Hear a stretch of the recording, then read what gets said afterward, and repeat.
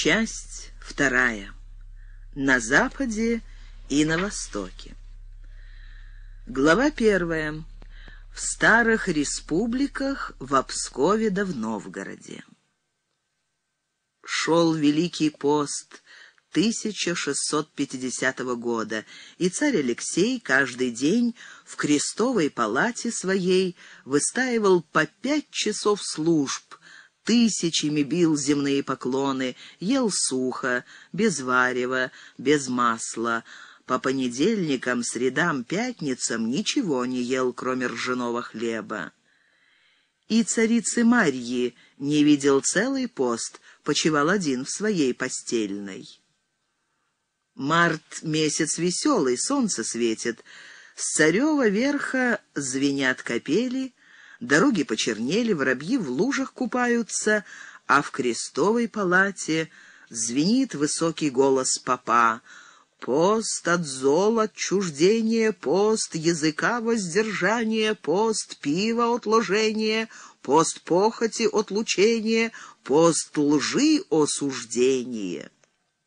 Постит царь от голода ум легок, не окоснел — над его рабочим столом встают страшные видения. Вот те и отложения попечения. Только что бурей прокатились мятежи по всей московской земле, казнил народ верных царских слуг. Тревожен стал государь после соляного бунта. Чудится все ему кругом бешеные глаза, крики «Люба! Люба!» А за рубежом еще хуже. В Лондоне аглицкие черные доторговые люди королю своему Карлусу голову срубили. А бояре все на Европу смотрят. Чего они там не видывали? Царь вскочил, подошел к окошку, заглянул. Стрельцы стоят в кафтанах синих. Значит, в карауле приказ стрелецкого головы Осипа Дурнова. Приказ Здесь полк, кроме названия органов Центрального управления России XVI-XVIII веков и названия местных органов управления дворцового ведомства в XVI-XVII веках. Кругом верха решетки поставлены, чтобы челобитчиков близко не допускать. Теперь царь, выезжая в город и запросто, меньше двух сотен стрельцов с собой не берет. А ехал он на масляной неделе в самое прощенное воскресенье, прощение просить к гробам дедов своих Романовых в Новоспасский монастырь, куницей проскочил сквозь строй смурый мужик. Господи помилуй, визжит в клетке попугай и вертится в медном кольце колесом. Тьфу, плюнул царь. А в глазах все тот мужик без шапки, ровно белины объелся, зенки белые выкатил, орет дурным голосом, прет под царева коня. Тот храпит, прыгает, а мужик за голенище лезет, за ножом. Застучало сердце у царя, убьет проклятый и, замахнувшись, высоко ударил царь со всей силой того мужика по лохматой голове тяжелым золотым крестом, что держал в правой руке. Мужик упал под коня, тот на дыбы. Потом из голенища у мертвого мужика того вынули челобитную. Ночи с тех пор не проходило, чтобы не мстилось государю волосатое лицо с выкоченными глазами убил до смерти, и это в прощенное это воскресенье грызет сам себя государь. Но вдруг, сменяя раскаяние, в душе царя встает темный гнев. Вор есть тот мужик, а бояре не лучше. Кому верить? Не единодушием служат ему бояре, а двоедушно, как есть облака. То прикроют солнце приятным покровом, то веют всяким зноем и яростью, мечут молнии злохитренным обычаем московским. С кем посоветуешься? Не с Ильей же Данилчем, тестюшкой. Бородой тот трясет, чревом колыхает, ищет себе прибыли. А Морозова благодетеля засадили Кириллу, на Белозере горлопаны. Прошлой осенью, как на Сергиев день, 25 сентября, ходил царь к Троице Сергию, вызвал он туда боярина Бориса Ивановича для ради мудрого совета, а тот уже из Кириллова монастыря выехал, жил в Тверской своей вотчине, в Берестове селе. Из Тверского поместья приехал тогда Морозов в Троицкую лавру. Скорбен ликом боярин, волосы бороду не стрижет, в опале он царской. Пал царю в ноги, плачет миленький, и царь с ним плачет. За решеткой монастырских покоев осень тоже плачет, дождик, тучи, лист желтый падает. А как поднял царь наставника, а тот глянул сквозь нависшие брови, взоры жгут, что каленый уголь. Многое насоветовал тогда молодому царю старый боярин. Как съедутся в Москву на Земский собор выборные люди, писать бы им в уложение прежде всего такие статьи, чтоб гилевщикам бунтовать неповадно было. Гилевщики э, здесь смутьяны от слова «гиль». Гиль — поруха государевой чести — и потому всех чинов люди, коли прослышат чего-либо про злоумысел против царского величества, либо про заговор, да особливо про скоп, не доведут этого до царя, и потом-то сыщется до пряма, того казнить смертью нещадно. Попы да монахи должны черный народ особо крепко блюсти, от всякого дурно держать, — говорил Морозов, а чтоб попы да монахи не боялись народу перечить, писать в уложении статьи такие. Какой человек архиереев лаею неподобный обесчестит либо попов, и тот вор платит бесчестие митрополиту сто, протопопу пятьдесят рублев, а попам платит бесчестье против его поповского денежного оклада, а попам безместным по пяти рублев. Править велено то бесчестье с виновных нещадно, и духовные люди будут тогда смелее, ежели их и излают, да они про то деньги стяжают. Попы-то деньги любят, — улыбнулся Морозов. В приказах кто сидит? Бояре. Да разве можно верить Трубецким, Стрешневым, Шуйским? Рюриковичи они. Выше Романовых глядят. Стало быть, и приказом веру давать опасно. Так, стало быть, надо, как прадед Иван делывал. А причный приказ ты, царь, заведи и тот приказ будет зваться «тайных дел». Ведать надлежит тайным приказам самому тебе, царю, да думному дьяку, наивернейшему. Следил бы тайный приказ за боярами, воеводами, всех чинов людьми, чтобы те не воровали, не творили бы измены. Вот как советовал тогда Алёше царю старый боярин. Сидит царь Алексей один за красным столом, в животе от редьки да от кваса бурчит, спина от поклонов ломит, в глазах мужик дурной маячит. Что делать?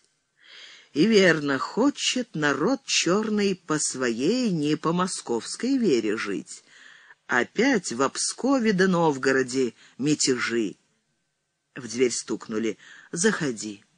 Влетел статный жилец, Прошка в голубом зипуне с позументом, рубаха красная с жемчужным козырем, согнулся, тронул пальцами ковер, кладет на царев стол столбцы за печатью. Жилец здесь слуга в царских покоях. Из Великого Новгорода, от Никона митрополита, сказал и опять согнувшись пружиной, сгинул, словно его и не было. Радостно стало на душе, как начал читать Алексей Михайлович. Чудесного видения сподобился Никон, митрополит Новгородский. В марте, восемнадцатый день, писал Никон, я в соборной церкви был у заутренни, и на второй кафизме смотрю я на Спасов образ, что перед нашим митрополичьим местом и назван «Золотая риза», вижу царский венец, золот на воздусе, как есть над Спасовой головою, и летит тот венец на меня. Я от великого страха обеспамятел, а все вижу и свечу перед образом, и венец. Венец-то пришел и стал над моей головою грешной, руками я его осязал. Кафизма греческое от слова «сажусь», обозначение псалмов, песнопений, при которых можно сидеть в храме, в отличие от акафистов, в греческом языке «а» — отрицательная частица, которые поются всеми молящимися стоя. Вот каков он, Никон, митрополит, адамант, свет очей наших, — умилился царь. Адамант — алмазная крепость. Великий он святитель, равноапостольный богомолец царский, он ли не спасет нас, ей спасет. Но дальше в грамотке шло такое, что уже радовать государя не могло. Мятеж в Новгороде разгорался, да такое, что в дело встряли шведы. В 1617 году по Столбовскому договору шведы ушли из Новгорода, вернули Москве Порхов, Ладогу, Старую Руссу, а себе придержали Поморский край с Ивангородом, Ямом, Копорьем, Орешком, да еще выпросили двадцать тысяч рублев деньгами. Русские черные люди бежали из захваченных шведами мест к своим, а шведы за убежавших теглецов да плательщиков требовали выкуп, грозили иначе войной. Москва затягивала, не платила больше тридцати лет. Сумма таких убытков шведских по их счету выросла до четырехсот тысяч рублей. Морозов торговался долго, а когда его сшиб народ, шведы стали настойчивее. Ездил в Стекольну боярин Пушкин Борис Иванович, взял обязательство заплатить 190 тысяч рублей. Стекольна так в Москве в XVII веке называли Стокгольм. Эти деньги и приходилось теперь собирать с земских людей и всяких без проволочек. В Стекольне, при дворе королевы Христины, жил московский человек, вор Тимошка Анкудинов, и выдавал себя тот Тимошка за сына царя Василия Ивановича Шуйского и добивался у шведов помощи для возвращения на московский родительский престол. Тимошка прибыл к шведскому двору из Семиградья с рекомендациями князя Ракоцы. Дело было нешуточное. Еще живо ведь были на Москве старики, видавшие и помнившие первого самозванца, и по Москве поползли темные слухи о природном царе, о Рюриковиче, против которого куда Романовым-то? Кошкины они, да Кобылины. Илья Данилович Милославский, что ворочил посольским приказом, послал в Стекольну посланника Козлова Ивана Прокопча договориться о выдаче Москве интригана. Шведы оказывались в особо выгодном положении и теперь настойчиво требовали оплаты старых долгов. Московский народ платить не хотел, бояре грозили провежами. К тому же в Пскове заговорили открыто, что с Москвы едет швед Нуменс через Псков, увозит из царской казны двадцать тысяч рублей. Бояре снюхались с немцами, пошел разговор. В феврале подошла широкая масленица, тридцати братьям сестра — Сорока бабушкам внучка, трем матерям дочка. Когда, провожая долгую зиму, шире по-весеннему развертывалась душа, развязывался язык, быстрее шевелились руки, блины да пиво, пиво да блины — да лошади с цветными лентами в гривах да в хвостах, да скоморожьи пляски под гудки да сопелки, да ученые медведи, да весь народ честной на улицах до прощенного воскресенья, до первых великопостных унылых звонов. И у псковского площадного подьячего Василия Слепова тоже не хуже людей шло блинное пирование с товарищами да с нужными людьми, когда в избу вбежал запыхавший стрелец Прохор Коза. «Садись!» — загремели веселые голоса. «Наливай, хозяин, ему чару немалу, что поздно пришел». Коза пить не стал, тряс сметенно за снежной шапкой. «А слыхали ли вы, добрые люди?» — крикнул он. «Получил наш воевода Собакин Никифор Сергеевич указ с Москвы выдать шведам с наших мирских житниц десять тысяч четвертей». Мера сыпучих тел. Торговая четверть — 24 пуда, казенная — около 10 пудов. «Да что ж это деется? Сами, проти Господи, без хлеба, почитай, сидим», — колокольным голосом сказал поп Афанасий Другак. «Бояре хлеб шведам везут, а у нас мужики по деревням сосну едят». За столом тут же случился бывалый человек Хренников Иван. Только год минул, как прибежал Иван от шведов из города Копорья, Яко благ, яко наг, яко нет ничего. Взвыл Хренников, руки вперед тянет, голос хрипит. «Да за что же это шведам платить, а? Православные я-то видел, я-то знаю. Мы от шведов бежали, так все свои хозяйства пометали, житья не было. Душу они нашу задавили, церкви позакрывали, попов похватали, колокола с колоколен поснимали». Все нас в лютерву ересь гнули, а теперь им деньги плати, да ей не в жизнь. Хозяин встал, выкрикнул бесповоротно, «Идем, братья-товарищи, к архиепископу нашему, владыке Макарию. Пусть скажет воеводе, не давал бы хлеба».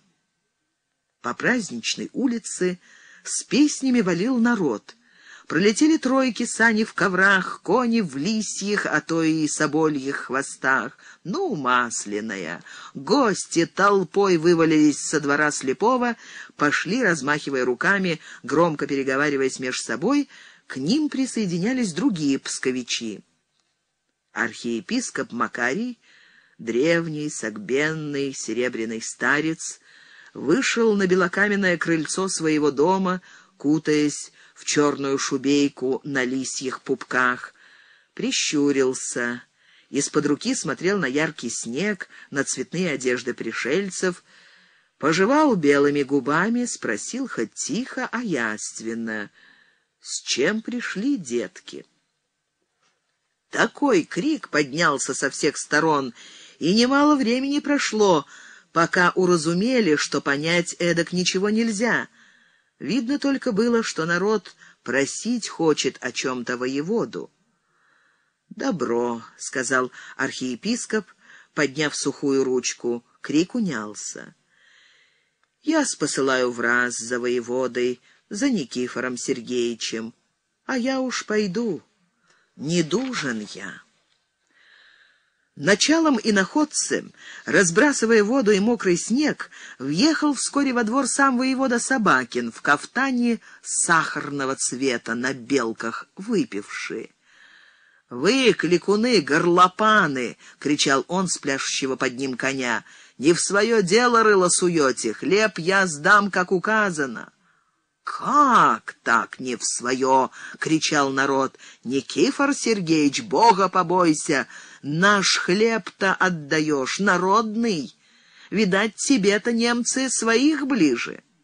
Вскочил вперед стрелец коза. «Да ты, воевода, с немцами снюхался.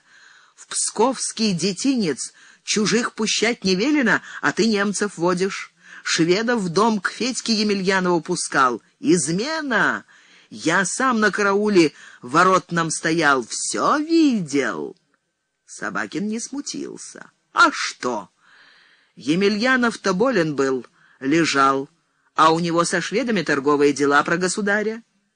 Крики росли, росла толпа, а тут во двор прибежал от Петровских ворот стрелец сорокаум копыта. крича «И впрямь едет немец, увозит с собой государеву казну народ! Не дадим нашей казны, то измена!» Ударили в сплошной колокол, народ побежал, у Власьевских ворот окружили шведа Нумменса, что ехал в сопровождении пристава Тимошина к немецкому двору. «В прорубь немца!» — кричал народ. «Бей его!» Немец от немой, не говорящий по-русски, иностранец, но только с запада. Немца обступили вплотную. «Что у тебя за казна? Сказывай такой-сякой!» Нуменс задрожал, стал кричать, что его знает Емельянов, у него с ним дела. «Федьку!» — кричал народ, изменник он, пытать Федора, пытать немца. Немца повели к всегородной избе. Отобрали бумаги, казну опечатали, посадили в келью монастыря, в сторожу к нему стали пятеро посадских, да два десятка стрельцов. Народ бросился ко двору Емельянова. «Где Федор?» Емельянов от народа скрылся. Схватили жену. Так лилась, плакала и, наконец, выдала людям грамоту, что получена была с Москвы. Грамоту прочли вслух всенародно. Последние слова грамоты, как на грех были, а сего бы нашего указу никто бы у вас не узнал. «А, -а, -а — завопил народ, — тайная она, грамота-то! От народа прятать велят воровство!» Народ уже заливал всю площадь перед собором. Все твердили в одно — не давать немцу хлеба из Кремля до царского указу, воруют бояре. Василий Слепой стал уже во главе собравшегося народа вместе со стрельцами, с Прохором Козой да с Сорокаумом Копыта. Эта тройка велела ударить в колокол, выкатить на соборную площадь два больших пивных чана, поставили на них немца Нумменса, обополы с ним стали два палача с кнутьями. Нуменса допросили всем народом, в голос прочли все его бумаги. Постановили псковичи так. Немца в тюрьму, а в Москву царю послать челобитие о боярском воровстве. А в марте и в Новгороде берючи на торгах стали кликать, чтобы люди не закупали бы себе хлеба по многу, будет где закупать хлеб шведам царская казна. К этому времени приехал в Новгород из-за рубежа торговый человек Никита Тетерин. Сказывал, что де шведы вот-вот снова на Новгород пойдут, только где хлеб получат, в хлебе у них вся нехватка. И все де это бояре творят, от царя безвестно. В это время через Новгород ехал с Москвы во свояси датский посланник Граббе. Посадский человек Трофим Волк ловко подкатился к его толмачу, к Нечаю Дрябину, посидел с ним в кабаке и дознался, что Граббе везет казну. Волк рассказал об этом другому посадскому, Елисею Лисице, а тот поведал уже открыто на торгу всему народу. Ударили и тут сполох в колокола. На звон с другими прибежал земский староста Андрей Гаврилов, чтобы унимать мятеж. Да, услыхав такие вести, сам повел народ. Народ кинулся к Граббе, тот уже выехал из города. Поскакали посадские до стрельцы конно, воротили немцев в город. Волк нахлестал посланника по щекам, переломил ему нос, пожитки у него отняли, отдали в сбереженье на пушечный двор, немца самого посадили за решетку. А народ кинулся ко дворам богатых новгородцев, что вели дела с немцами.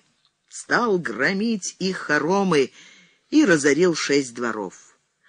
На Любекском дворе схватили приезжих немцев, тоже заперли под стражу. Митрополит Новгородский Никон, услыхав о бунте, побледнел, сжал губы, с пламенным взором стал перед образом Христа царя. Вот когда он должен действовать, как духовный вождь. «Господи, помоги! Господи, укрепи!» — молился он. Помолиться, однако, Никону не дали. Прискакал спешно новгородский воевода, окольничий князь Хилков Федор Андреевич, за советом, чего делать. Послали митрополит да воевода к народу стрелецких голов уговаривать разойтись, кончить мятеж. Голов наколотили, одного сбросили с Кремлевской башни, когда наступившая темнота придержала мятеж. Но на следующее утро, 16 марта, колокол опять ударил на торговой стороне сполох, народ бежал по улицам, крича «На вече!» Собралось вече. «Государь об нас не радеет!» — кричали новгородцы. «Бояре шведов нашим хлебом кормят, деньгами им помогают». Однако тут оказалось, что земский староста Андрей Гаврилов испугался, чего натворил, и сбежал. Народ остался без вожа. Вспомнили, что по приказу митрополита Никона, схваченный и посаженный под стражу, митрополитный приказный Иван Жоглов, да двое детей боярских, Макар да Федор Негодяевы. Эти люди вчерашний день хвалились всенародно, что они де все знают, что у царя наверху деется, о чем говорят бояре. Народ стал кричать невежливо про митрополита и про воеводу, побежал к земской избе, освободил заключенных Жоглова и Негодяевых. К трем этим присоединились другие, кто посмелее. Посадские люди — Елисей, Лисица, Игнат, Молодежник, Никифор Хамов, Степан Трегуб, Панкрат Шмара, Иван Оловяшник — Стрелецкий пятидесятник Кирша Дьяволов да подьячий Григорий Ахнатюков. Вся власть в Новгороде оказалась в руках этих неведомых до того людей. На другой день, 17 марта, на память Алексея Божьего человека приходились именины самого царя Алексея. Народ и начальные люди, старые и новые, заполнили Софийский собор. Служил митрополит Никон. Перед митрополитом стали вновь со сдвинутыми грозно бровями вольные новгородские люди, мужики-вечники. А Никона жгла память. Заставил же римский архиерей папа немецкого короля — стоять перед воротами замка босым на снегу в рубище с веревкой на шее. Да он, Никон-то, хуже, что ли? И владыка Никон произнес гневное грозное слово против мятежников и проклял поименно всех народных новых начальных людей, выгнал их со стыдом из храма.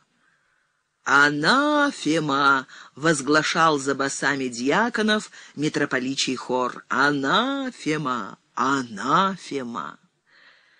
Голоса хора отдавались вверху в куполе, будто с неба, а народ пугался и дивился, и, расходясь после обедни, шептался, «Что ж такое?» Государь на своих именинах своих людей жалует, милость тюремным сидельцам объявляет, а таков освобождает, из тюрем выпускает, долги прощает, от наш Никон вон чего проклинает. Да кого проклинает-то? Не одних лисицу да дьяволова, а всех нас, новгородцев, проклинает. Мы-то все с ним и в одной думе. На государевы-то именины да народ проклинать, а? Мятеж разгорался, и на площади на торгу пристав съезжей избы Гаврила Нестеров выкрикнул все впрямь и явно. «Никон, митрополит, да Хелков воевода, прямые изменники, за бояр стоят, за шведов». Митрополичьи да воеводские люди схватили Нестерова, сволокли к митрополиту за Софийский двор, били, бросили в тюрьму.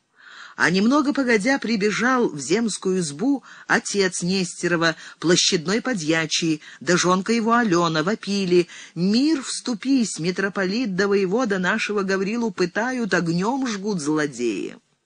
Начальные народные люди — опять ударили сполох на торговой стороне, собрали народ, кинулись к Софийскому двору. Никон и Хилков заперлись в митрополичьих покоях, но приказали Нестерова освободить. Народ криками встретил свою победу, а Нестеров тут же на митрополичьем крыльце сорвал с себя рубаху и казал народу исполосованную спину. «Смотри, народ, что со мной митрополит сделал, а?» Народ ахнул, бросился вперед, выломал двери и ворвался в покое лицом к лицу с Никоном и с князем.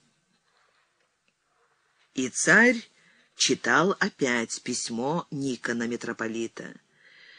«Я вышел к народу, а они меня ухватили со великим бесчинием, ослопом в грудь били, грудь расшибли, кулаками били и камнями, и схватили меня и повели в земскую свою избу. Проводили, как мимо церкви, хотел я было в церковь войти, не пустили, все дальше вели к себе. А довели до золотых ворот. Я тут отпросился у церкви на лавке посидеть, отдохнуть. Просил я народ, отпустил бы он меня в церковь, знаменья, литургию служить. Они на то преклонились. Я велел звонить, до знаменья дошел с великою нуждою, и стоя и сидя служил, и назад больной в сане ввалясь домой приволокся. И ныне, великий государь, лежу при смерти, кровью харкаю, живот весь запух, соборвался уже маслом, а не будет мне легче, пожалуй, меня, богомольца твоего, прости, разреши принять смертную схиму. Слезы катились из глаз царя, чего собаки подлые со святителем творят. Горло сжало, кулаки сами скатались, насупились царские брови, блеснули глаза. Нет, худые мужичонки-вечники, не даст в обиду царь своего молитвенника мятежники. Рассвет чуть занялся на другой день, а царь Алексей сидел уже с боярами в передней избе. По постному времени были все в смирных шубах. Докладывал дела Милославский, осторожно поглядывая на зятька. Вчера еще царь, вспылив, драл ему бороду. «Бояре», — говорил Илья Данилович, умильно поглядывая на царя, — Гиль новгородский нужно унять. Гилевщики митрополита Никона избили, князя Хилкова воеводу как кота гоняют. У князя Трубецкого, что сидел на лавке рядом с докладчиком, чуть дрогнула левая бровь, другие бояре шевельнулись. Тучный князь Голицын положил руки на круглый живот, стал вертеть большими пальцами то в одну, то в другую сторону. Больно.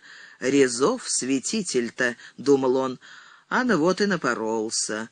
Уняли его новгородцы, хе-хе. Потому как и блаженный я памяти прадед Иван делывал, и ты, великий государь, посылай войско новгородцев унять, — говорил Милославский, — а то вече собирают, в колокол бьют, вольным обычаем опять жить хотят. Вели, государь, идти на вотчины твои, на Новгород да на Псков, боярину князю Хованскому, Ивану Никитовичу. Что укажешь, государь?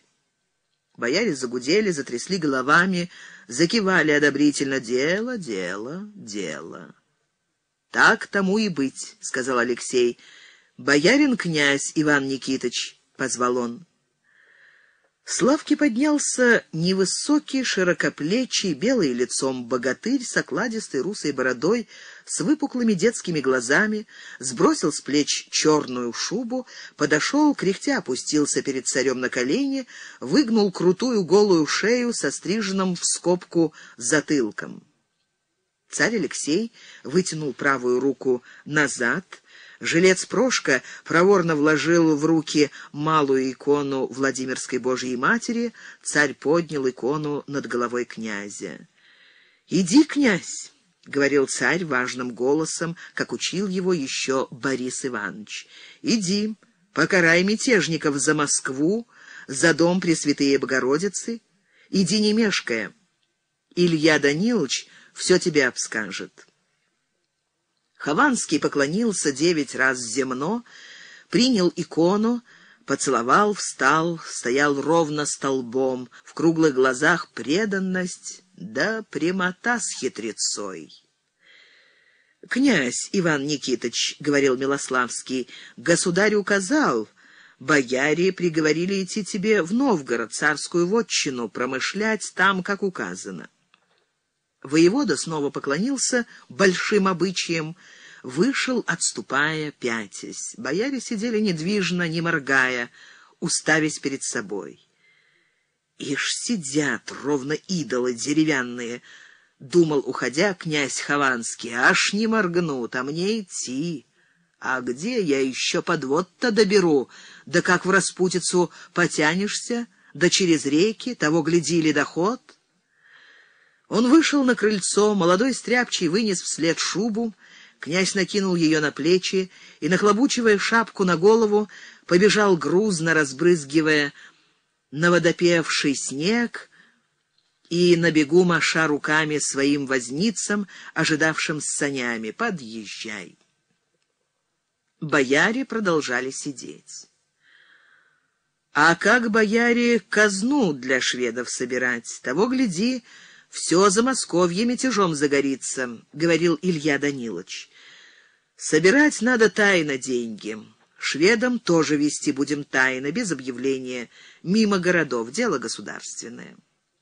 Государь указал, а бояре приговорили, чтобы те деньги выплатить шведскому резиденту, ловкому гостю Ягану Родесу, и выплатить бы их тайно. Ночью до свету, по ядренному морозцу, по улицам Москвы и Стрелецкой слободы к Тверской заставе застучали дровни. В желтом свете масляных фонарей у открытых решеток мелькали тенями лошади, блестели бердыши и ружья, звучали голоса. Впереди на черном бахмате, таком же плотном, как всадник, ехал князь Хованский — за ним, лежа на боку, сидя в распусках, ехало три сотни стрельцов. Рассвет стал заниматься, когда они проезжали Всехсвятское, благовестили кранней. Стрельцы скидывали колпаки, крестились, вздыхали. На войну идем на своих православных, не равен час, спаси и помилуй. Отряд князя Хованского занял Новгород без сопротивления. Гиль было поутих, но рать пришлось потом перебрасывать под Псков, и псковичи оборонялись против московской силы всю весну до самого лета.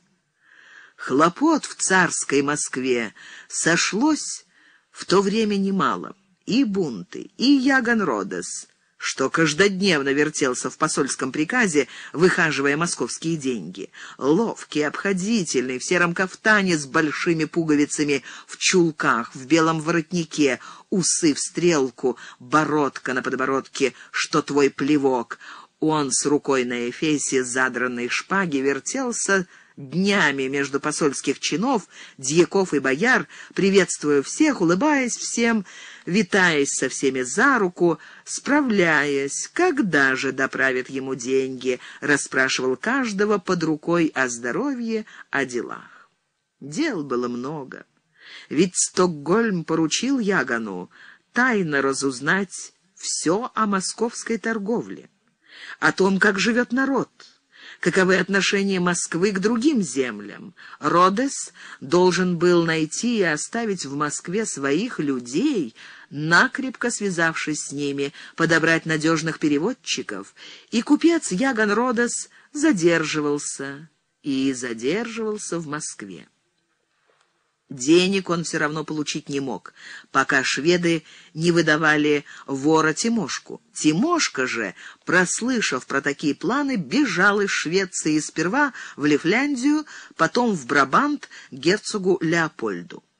Чтобы выходить те деньги, Швеция, в конце концов, уже в мае доставила в Москву сообщника с Москвы и помощника Тимошки Анкудинова, Коську Конюховского. Конюховского под охраной полусотни стрельцов в цветных кафтанах вели через всю Москву. Шея у Коськи закована была в железное кольцо, к кольцу прикована цепь, к цепи чурбан тяжелый. Обе руки у него связаны, к ним привязаны четыре веревки. За веревки держали конюховского стрельцы. Впереди ехал конно Берюч, кричал зычно «Народ! Изменник государю! Враг всей стране! Басурманин и язычник Коська!» После сыска и пыток Коську казнили на лобном месте. Жара была в день казни несусветная. Надвинулась черная туча, гремела, народ метался по площади, укрываясь от ливня, словно от царского и божьего гнева, а палач, четвертовав Коську, выставил на спицах голову, ноги и руки. Только в июне месяце был отпущен тайно с Москвы Яган Родос, увозивший доправленную с народа казну почти в двести тысяч рублев. Сопровождали Ягана Родоса пристав Капнин, Егор Миноч, шустрый, вежливый, пронырливый, с острым взглядом сверлящих калмыцких глазок, толмач да сотня стрельцов. Капнин — имел строгий наказ оберегать немца и казну от воровских людей, от пожара, стрельцам же было строго запрещено заходить в кабаки. С Родосом шел ящик с пятьюдесятью тысячами золотых дукатов. Его собственное имущество и переданную казну везли на двадцати подводах, да еще шло шестьдесят подвод с шелком сырцом персидским для королевы Христины, уступленным царской казной. Обоз с казною Родоса, двигаясь по левому берегу Мстырики, мимо Ильмень-озера, далеко обошел и Новгород. Наконец, добрались до русско-шведской границы между городами Орешком и Ладогой, у Ладожского озера. На реке Лаве на пароме пристав Капнин передал Родоса и казну начальнику шведской пограничной стражи посреди реки и получил соответствующие расписки. Псковичи и новгородцы приутихли, замирились. Боярская Москва победила. И еще крепче после таких испытаний, еще круче заработали приказы, исчисляя, что еще можно наложить на черных людей. Жестче стали выколачивать недоимки городов и воеводы. Еще выше взлетели ночные мечтания Никона о золотом венце. Не побоялся он проклясть бунтовщиков, встал он решительно на сторону Москвы. Тимошка Анкудинов, царевич Шуйский, недолго гулял по Европе. Илья Данилович Милославский выхватил такие его из Голландии, привез в Москву, где тот и был четвертован. На этом деле голландские купцы получили крупные привилегии по торговле с Москвой. Глава вторая. Два каравана. Расписной шкатулкой суздальской работы глядит в погожий майский день город Ярославль на остроге между слиянием рек Волги и Которосли. Рубленым городом зовется здесь по-старинному Кремль, хоть он давно и белокаменный, о восьми башнях блещут в нем кресты до купола Спаса-Преображенского монастыря. Кругом рубленного города по оврагу Медведица, где князь Ярослав когда-то топором Медведицу зарубил, посады до слободы, коровники, толчки, Благовещенское, Петровское, Заречье. Там живут и работают черные люди, больше по коже овчине, сапоги точают ярославские, женские ладные коты с пестрыми вошвами — шапками, шубы, полушубки, рукавицы шубные, галицы желтые с красной, синей, зеленой строчкой. Много работают ярославцы и медной мелкой кузни, фасонных изделий, крестов, серег, колец, перстней, ожерелий, манист, блестящих красивых с цветными стеклышками. Ради этой самой кузни и приехал в Ярославль Павел Васильевич Басой. В Толчках у церкви Ивана Предтечи под Крутым Яром у Волги двор Ивана Фролча Вахромеева, знатного серебряных дел мастера, ходит он в старостах у серебряников. Во дворе под шумными плакучими березами нетолченая труба. В трех избах стучат молотки, скребут напильники, дуют, вздыхают горны, гнут спины над верстаками работные люди в охромеевской артели, все в кожных передниках, искры серебра, цветного стекла посверкивают в их обожженных от кислот черных пальцах. В большой избе в чистой горнице старик Иван Фролч принимает почетного заказчика, сам черно-седой, борода до глаз, откуда грибом торчит нос, в кожном переднике тоже ласковый, улыбчатый, толкует о делах с Павлом Васильевичем Басым, старшим братом Тихона. Не миновали-таки Волги босые, хоть не вышли они сюда к торговле, так пришлось брать отсюда товар. Два года утекло, как отъехал Тихон в Сибирь, и дело в Сибири теперь повертывалось так, что пришлось брату Павлу метаться по городам, искать новые товары.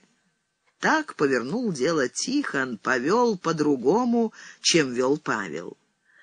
Тихон, большой, ладный, красивый, в Игнатьевых, в бабеньку Ульяну, Павел же выпечатан как в отца Василия Васильевича, сутулый, сухой, что хреновый корень, глаза у переносицы, бородка редкая, козлиная, торопкий, непоседа.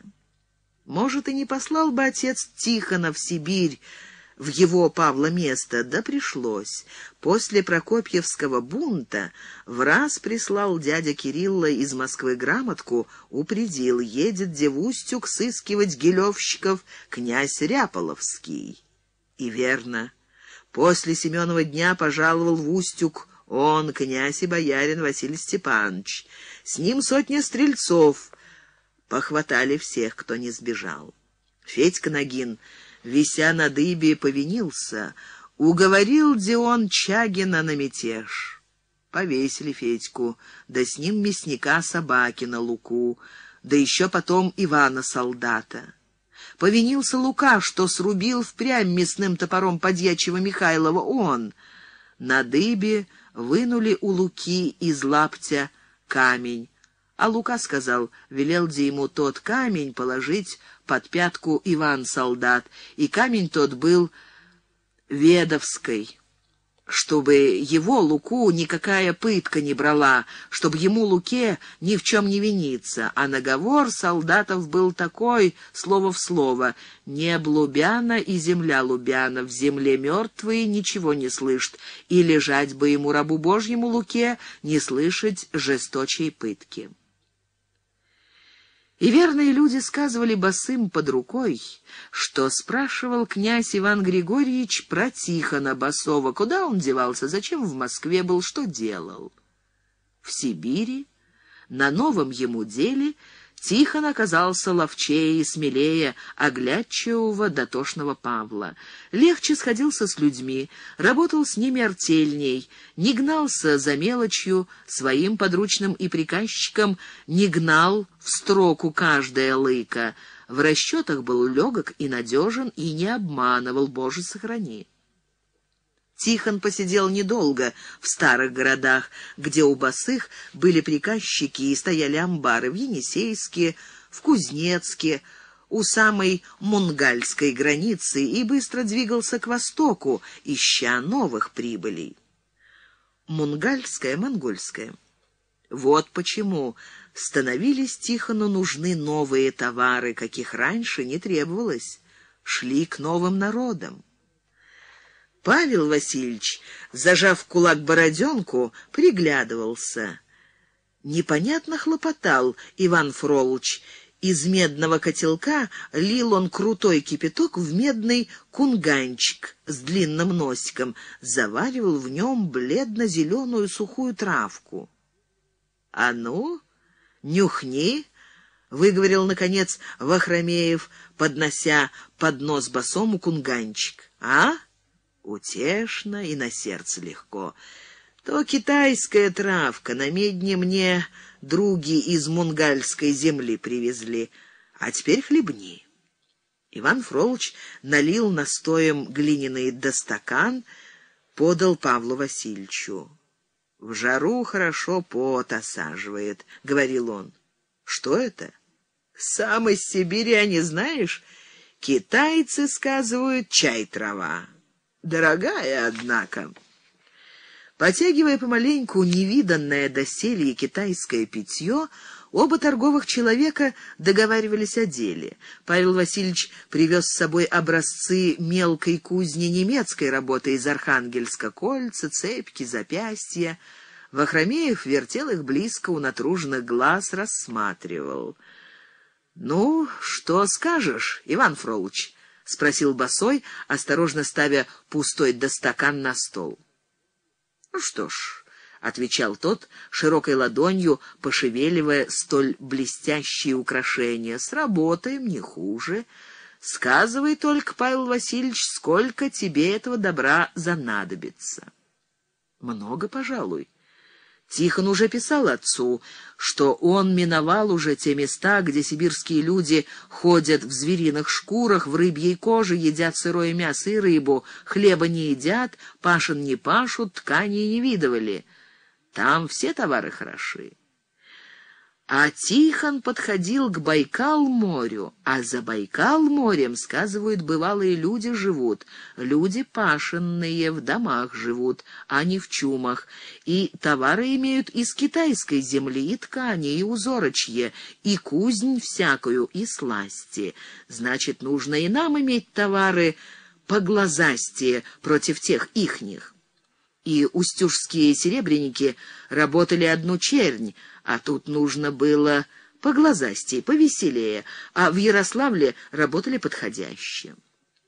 В конце концов договорились до всего — сколько возьмут басы новых изделий, и в какой срок, и какого образца. А тут колокол башни в рубленном городе ударил первый час ночи, закатилось солнце. «Ах, темне!» — вскочил Павел — еще дел сколько не сделано. Теперь делов нету, смеялся Иван Фролович. Лавки закрыты за два часа до ночи. Поснедай с нами, да мы тебя проводим на заезжий двор. На другой день много городового ярославского товару набрал Павел Васильевич. Холсту, полотен, обуви, шуб, шапок нарядных, вязаных чулок со стрелками, серебряных изделий, всякого узорочья. Дня два на Волге своими глазами присматривал, как грузили веселые ярославцы товары на его три струга. Наконец-то все товары были увязаны, зашиты в рогожи, в холсты, укрыты от непогоды — и караван двинулся. Путь был известен до Костромы по Волге. Там, в реку Кострому, мимо Костромы, мимо города Буя, который когда-то татари хотели разорить, искали в лесах, да так и не смогли найти, до реки Пежи. Все на полночь, речкой Пежей вверх по воде, а там Волок в семь верст и в Сухану.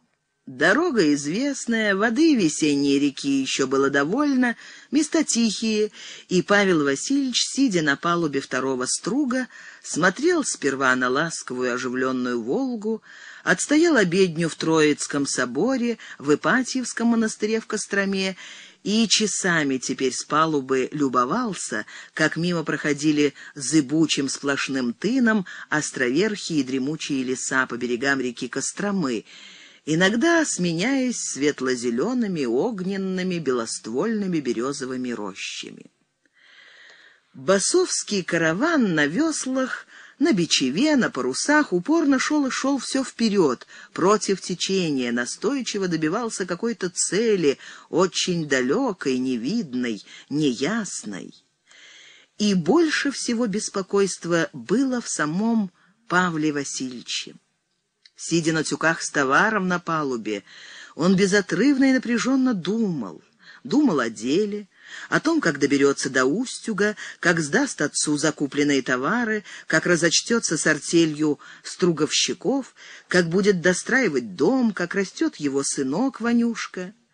Глядя со струга на проходящую мимо лесную заимку, Павел Васильевич беспокойным своим глазом отмечал, хороши ли поднялись хлеба, уряжены ли надежно паскотины, нагулен ли пасущийся скот.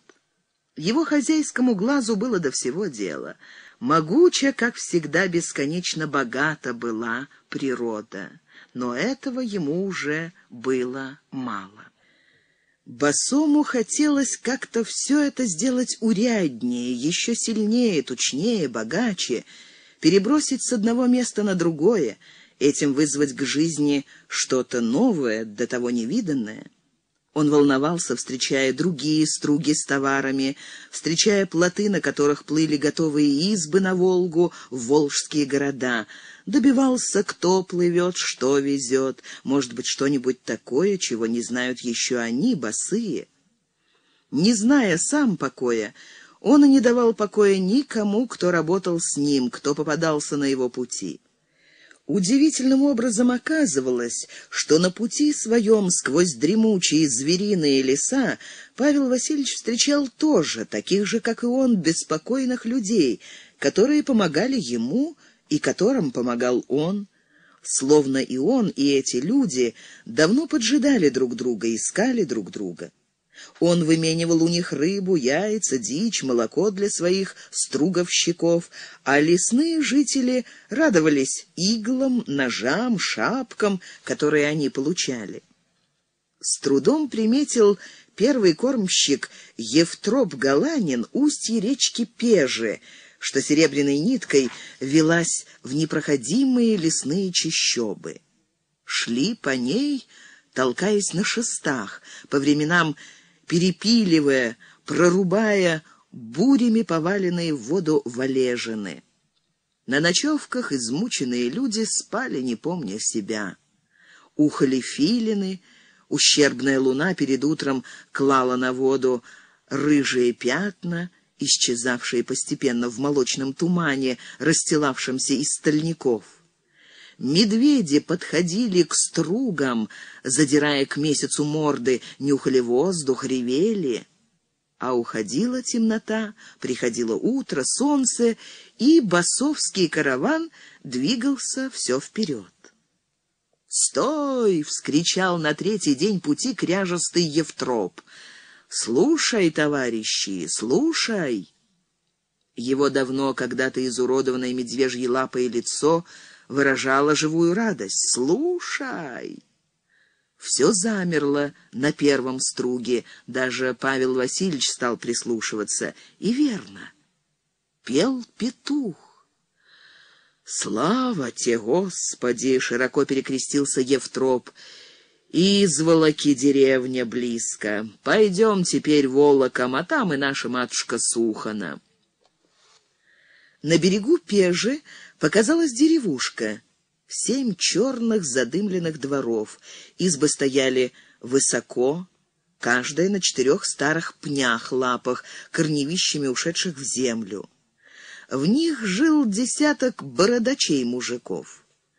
Земли они не пахали, занимались бортями, курили смолу, ловили рыбу и птицу сетями, зверя капканами да ямами и перетаскивали проплывавшие суда через невысокий лесной водораздел между Суханой и Пежей. Парфен Кузьмич, их староста, стоял впереди по сконной кучке, широкоплечий, длиннорукий, в бурой свальной бороде с синими маленькими глазками из расстегнутого ворота на грудь свешивался медный крест. Степенно поклонился он босому. Павел Васильевич тут хаживал — молча оглядел караван, и все мужики за ним поворачивали лохматые свои головы туда же, куда и он. Договорились быстро, совестливо, и те, и другие понимали, что в темном лесу людям приходится помогать друг другу в полную силу. Поужинали богатой ухой, спали под яром берега у курящихся теплин. Узкой прямой цепью тянулся волок через матерый густой лес. Изволоченцы да струговщики вытянули на берег на катках суда воротами, закрепленными за сильные деревья, а тянули их по волоку рычагами, крутя ворота и перекатывая их все дальше и дальше, и три струга углублялись в лес, с треском дробились под ними катки, скрипели ворота, ухали, вздыхали, бронились люди. Вершок за вершком — Аршин за аршином ползли и ползли в лес басовские струги, переваливаясь через корневища, сдирая своими боками лиловую кору на елях, бело-зеленую на березах, наперекор мертвой тяжести груза, силой, сноровкой, наконец, беззаветным трудом этих бородатых темных лишачей, побеждая природу, утверждая волю человека. Сквозь стволы засинела вода. Вот она, сухана, и первый струк, скользнув с берега, легко закачался уже на свежей открытой реке.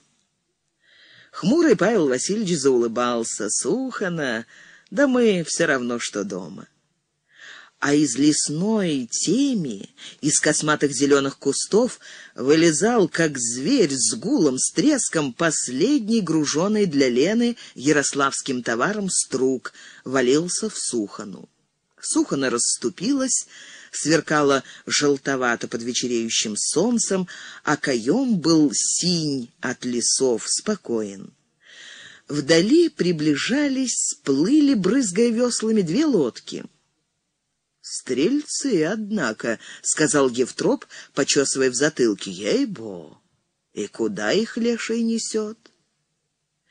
И народ на берегу собравшись, сипло прозаикался Захар Силов, рыжий, весь в веснушках, курносый жилистый мужик. Подальше, на берегу, у деревни, что звалась Черемуха, принаряженные лесные бабы и мужики сидели на валежинах, стояли тревожные и торжественные. К ним шел Евтроп. Струговщики кучкой сошлись теперь у самой воды, глядели вправо. «Эй, что там, други?» — крикнул босой. Толпа закачалась, от нее отделился Евтроп, медленно пошел обратно к хозяину, разводя руками. «Сказывают, стрельцы сгоняют народ на реку», — сказал, подойдя. «Чудотворц, что ли, везут? Караваном». «Куда?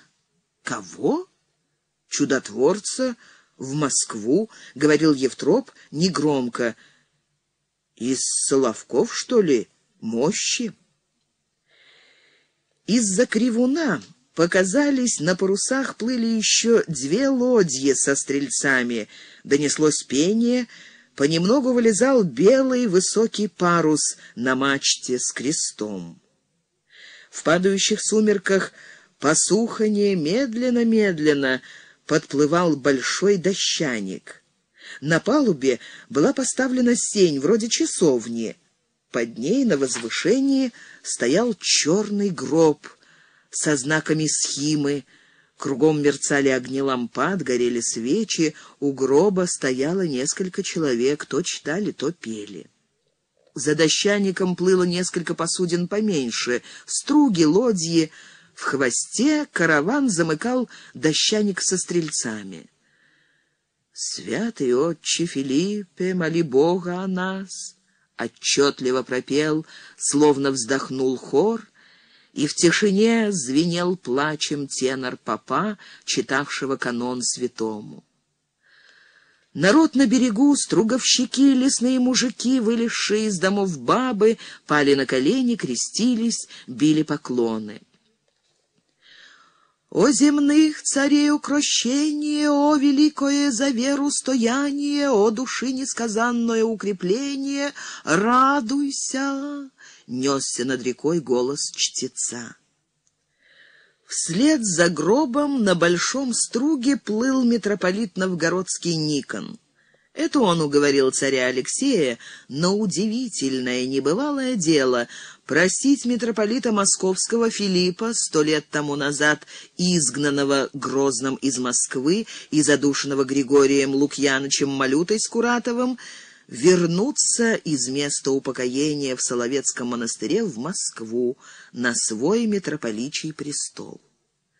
Митрополит Никон сидел у своего чулана на струге вместе с князем Хованским, Иваном Никитичем, на лавке, крытой ковром, дышали вечерней прохладой. Плыли они, как два союзника. Действуя один проклятием, другой стрельцами, в который раз снова они укротили новгородцев, задавили вольную крамолу, даже сполошный колокол угнали снова в ссылку. А теперь Никон победоносно шел на самого царя, чтобы заставить его земное величие пасть ниц перед величием духовным. В богатом соборе Соловецкого монастыря, стоя на коленях перед ракой Филиппа, читал Никон всенародно покаянную грамоту царя Алексея. Мощный его медвежий голос, отдаваясь, звенел в высоких сводах. «Молю тебя, жду пришествия твоего сюда, в Москву, чтобы разрешить согрешение прадеда нашего царя Ивана, совершенное против тебя нерассудно, завистью и несдержанием ярости». Не повинен хоть я в этой обиде твоей, однако гроб прадеда моего постоянно напоминает мне об грехе этом, приводит меня в жалость, ибо ты был изгнан из Москвы, и народ царствующего града лишен твоей заботы о нем. И я посему преклоняю сан мой царский пред тобою за прадеда моего, согрешившего против тебя, прости ты ему это согрешение тем, что придешь к нам в Москву. Всякое царство, что разделилось в себе, стоять не будет и нет среди нас уже больше людей, что прикословили бы твоим словам. Народ весь, паства твоя, един, нет в нем никакого разделения, и все мы единомысленно умоляем тебя, приди к нам, приди в дом свой в Москву с миром, и тебя примем мы с миром. Тих вечер, далеко разносились чтение и пение. Аравийский ладан мешался с запахом смол, меда и луговых цветов. Народ стоял по берегам реки на коленях. Под зажигающимися звездами плыл в Москву мертвый святитель. Сам царь, встретив в Москве, упадет перед ним с народом и войском на колени. Стрельцы понесут его на головах, а народу московского соберется столько, что не вместится он по Тверской улице от Тверских до Неглинных ворот, яблоку не будет места, где упасть, крыши все будут полны людей.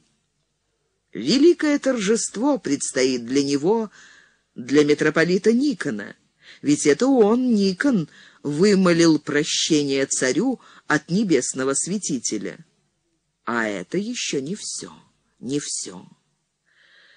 Патриарх Иосиф скончался. Царь в письме пишет. Значит, путь для него, для Никона, снова открыт. Кому же и быть иному патриархом на Москве? Кому же править церковью Христовой? Кто, как не он, Никон, задавит священно властью своей все грехи народа, поведет народ московский к великой и добродетельной жизни? Под его Никоноводительством станет царь Алексей Михайлович царем вселенским, единым самодержцем христианским. Митрополит Никон при такой мысли индодвинулся на скамье. Источники на мантии его блеснули рубинами и алмазами, кровью и водой, истекшими из пробитого римским копьем ребра Христа, висевшего на кресте. «Чего плывем еле-еле?» — сказал громко он, несмотря, а только повернув голову через плечо к князю Хованскому — Ин, князь, скажи им, Чтоб борзей плыли, ветра мало, пускай гребцы гребут. Любят ли же боки лежать, работать не любят, батагов, что ли, хотят? Князь, оперся руками о колени в зеленых шелковых шароварах, поднялся, неспешно крикнул «Эй, жильцы, шумни, обогребли! Владыка гневен!» Никон в полглаза следил за Хованским. Он-то знал, что у него у князя в голове. Царь ему, Никону, писал еще, что князь Хованский шлет тайно грамотки своим друзьям в Москве. Пишет, жить бы лучше ему, князю, в новой земле, чем с Никоном митрополитом, что мучит Дион Никон всех, силою заставляя верить в Бога. Ладно, думает Никон, до Москвы бы только добраться. Там заплескали весла, замигали свечи, караван пошел ходче. Гонит его грозный митрополит, торопится сесть на патриарший стол. Караван Никона прошел как видение, скрылся за лесом на мысу, замерло вдали пение. Павел Васильевич босой перекрестился, покачал головой, надел шапку и повернулся к ватажникам, только и сказал «ну-ну» и добавил «а с зарей мы поплывем, братья-товарищи, путь нам другой подали, дело нас ждет». Глава третья. Сибирское тихомирье. Теплой ночью на самое преображение в день, 6 августа, в лесной пустыне окружили темные тени стан Ермака. Змеями татаре ползли на животах среди крепко спавших товарищей. Никто не ушел от зажатых в зубы ножей, а самого Ермака спас двойной панцирь. Пробился он, сбежал с холма к иртушу, скакнул на струг, да оборвался, и увлакла его черная вода. Утонул казак. Свалил Ермак остатки Чингисова царства в Сибири, открыл Москве ход в Сибирь, да сам погиб. У татарского юрта деревни, что пониже Абалакая, ловил потом рыбу Яньши, внук князя Бегаши, и блеснуло ему что-то в воде под солнцем, поглядел панцирь. Сбежались татаре, вытащили из воды великана Мурза Кайдаул — сам содрал с него панцири, и хлынула у Ермака кровь из ушей, носа, рта, как у живого. Построили татаре помост на холме, положили на него батыра, и все, кто не прибегал, не приезжал на коне, не приплывал в челне, били в него стрелами — и все текла и текла живая кровь, а черные вороны даже ночами не смели сесть на тело. Шесть недель лежал так Ермак позором на помосте, пока не пришел в меховой толпе вагульских, остяцких, самоядских, татарских князцов старый полуслепой сибирский хан Кучум — Долго смотрел он из-под рысей своей шапки на труп Ермака, отвернулся, приказал похоронить.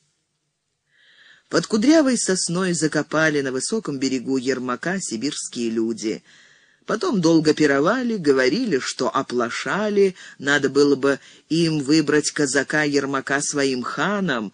Говорили, что видят они часто Ермака во сне, что на могиле его по ночам свет столбом, и припоздавшие поездники плетьми гонят мимо могилы храпящих своих коней. Всего полвека прошло после гибели Ермака, а цепь русских городов по берегам рек — далеко ушла в Сибирь. И впрямь жива оказалась кровь Ермака. Стучат топоры в Верхотурье, под самым боком Урала, ставят новые избы, лавки, церкви, строят суда на реке, Туре, дощаники, насады, каюки, лодьи, струги, чтобы плыть на них народу дальше, на всход солнца, вниз, на Тюмень-город. Путь лежит из Тюмени водой на восток, на Тобольск город, где сидят воевода Великий Сибирский да архиепископ всея Сибири. Высоко над Лукой Иртыша и над Тоболом на холме стоит крепкий острог Тоболеск, в ладной деревянной стене, сложенной словно хоромы из великих бревен, сверху ход крытый, бойницы поверху и по подошве, избы пристроены для стрельцов. А строк тот — строение общественное. Каждый из новоселов должен был срубить и приволочь миром на место по пять бревен на брата. Стань на Никольскую стрельницу, глянь кругом. Эх, синё, все синё от лесов, острые елки торчат, как есть пила. К острогу примкнул город, вокруг города палисад из высоких живых елей, что растут тесно друг к другу по горе щеткой, без земляного вала а внизу под горой на берегу Иртыша амбары хлебные, соляные, пушнинные, кабаки, пивоварни, рыбный торг. Тут же татарские пристани, караван-сараи. Заезжают туда торговые люди из Джунгарии, из Бухары, из Емышевского соляного озера. Кругом Тоболеска лес вырублен и отступил, огороды разбиты, Подали зеленые выгоны, пасется скот, на полях рожь спеет, гречиха белая — и стоят одна за одной под Тоболеском деревни ладные, ровно в поморье, заимки, выселки и новые желтые избы растут, словно рожь. Валом идет и идет сюда из-за Урала сильный вольный народ на новые мирные места, где можно жить и работать, всего здесь хватает. Вон на крутом берегу, на поляне, под шумными зелеными березами, крепкий крестьянский двор Василия Тючкина. Того самого, что сбрел в Сибирь от долгов из Великого Устюга, пропивший тогда с досады свой дворишко. Здесь Василий Потапыч сам себе хозяин, живет в достатке. Во дворе недавнего строения горница на подклете, к ней сени дощатые, над сенями подклеть рубленная, под ним погреб. Во дворе еще изба людская, да сарай, да хлев, двор весь огорожен столбовым заплотом, двое ворот на деревянных вереях. За двором мовня, житный амбар, гумно огорожено жердями, на гумне авин, да тут же пунька плетневая, спать хозяину в жаркие ночи вольготно. Тысячи и тысячи черных людей собрали силу, ушли со старых северных мест, перебрались через Урал, сплывали на плотах, стругах, лодках по сибирским рекам, в зеленых урманах, из которых поднимаются белки снегов на острых горах. За миром к природе шли черные люди и сами несли с собой мир сибирским тундровым и лесным людям. Приземистые самояди, рослым румяным вагулом, скуластым узкоглазым тунгусом и остяком, одетым вековечно в звериные валеньи шкуры, то с доверчивой белозубой, то с подозрительной улыбкой. Эти люди самосеянно родились, как грибы под зелеными сводами лесов, и не умели, не смогли свалить дерево, чтобы сложить избу, нечем было. Костяным-то топором много не срубишь. Вековали они в чумах из жердей, покрытых корьем, берестой, заваленных шкурами ими убитых и съеденных животных. Лес их растил, хранил, кормил, укрывал от жары короткого лета, от морозов и бурь зимы, и с ужасом, с любопытством следили лесные жители, как ловко новые пришельцы валили, выжигали деревья, рушили зеленые покровы, открывая синее небо, складывали из лесин избы, железными когтями сох вздирали мягкую, словно медвежье сало, землю, кидали туда зерна. И не пропадали те зерна, скоро лезли зелеными щетинами из земли, вырастали в золотые жатвы на лесных целинах, кормили новых людей душистым сибирским хлебом.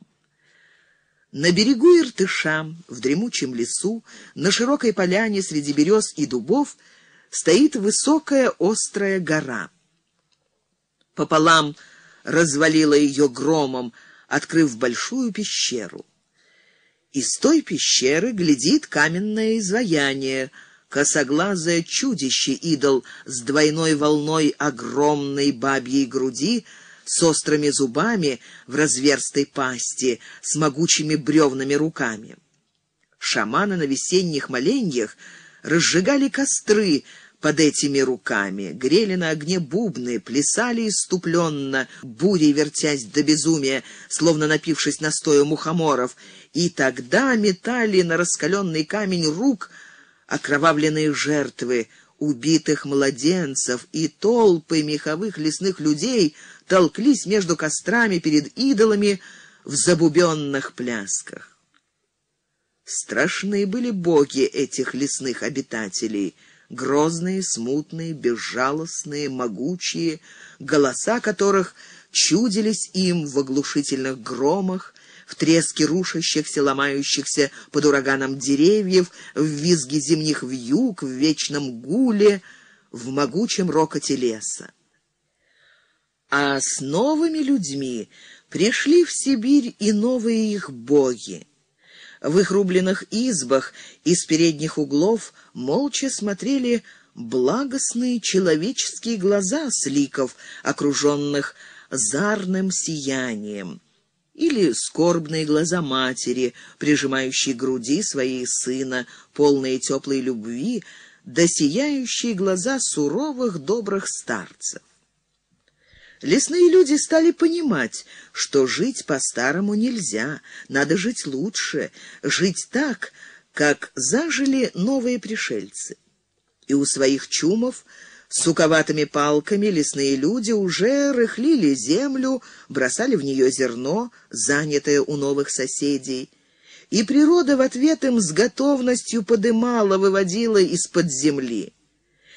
Колосья созрели, колосья растерты в крепких ладонях, собраны зерна первой жатвы. Зерно кладут в горшок, наливают воды, ставят на огонь. И в первый раз в жизни лесной человек ест свою горячую кашу, начинает свою оседлую новую жизнь на земле. Новые черные люди пребывали в числе, селились вместе деревнями, городищами, где избы стояли уже сотнями.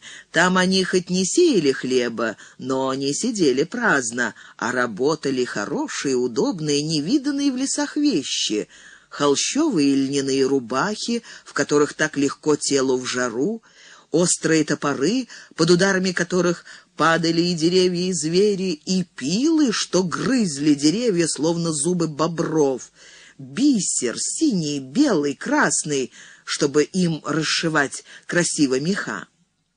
И от новых сделанных вещей у лесных людей кружились головы, замирали сердца, а новые люди легко отдавали эти вещи лесным людям за то, чего не сосчитать в лесах, за шкурки зверей за чудесную, колдовскую вещь, за медный, как солнце, блестящий невиданный котел, лесной человек, приходивший в город в собольей шубе, с радостью давал взамен столько соболей, сколько в котел влезало.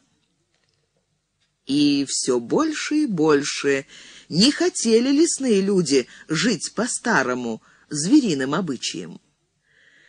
Легко сходились, роднились, братались кровью, крестами менялись лесными людьми новые сибиряки, сливались в один сибирский народ, перенимая друг от друга все полезное для вольной жизни.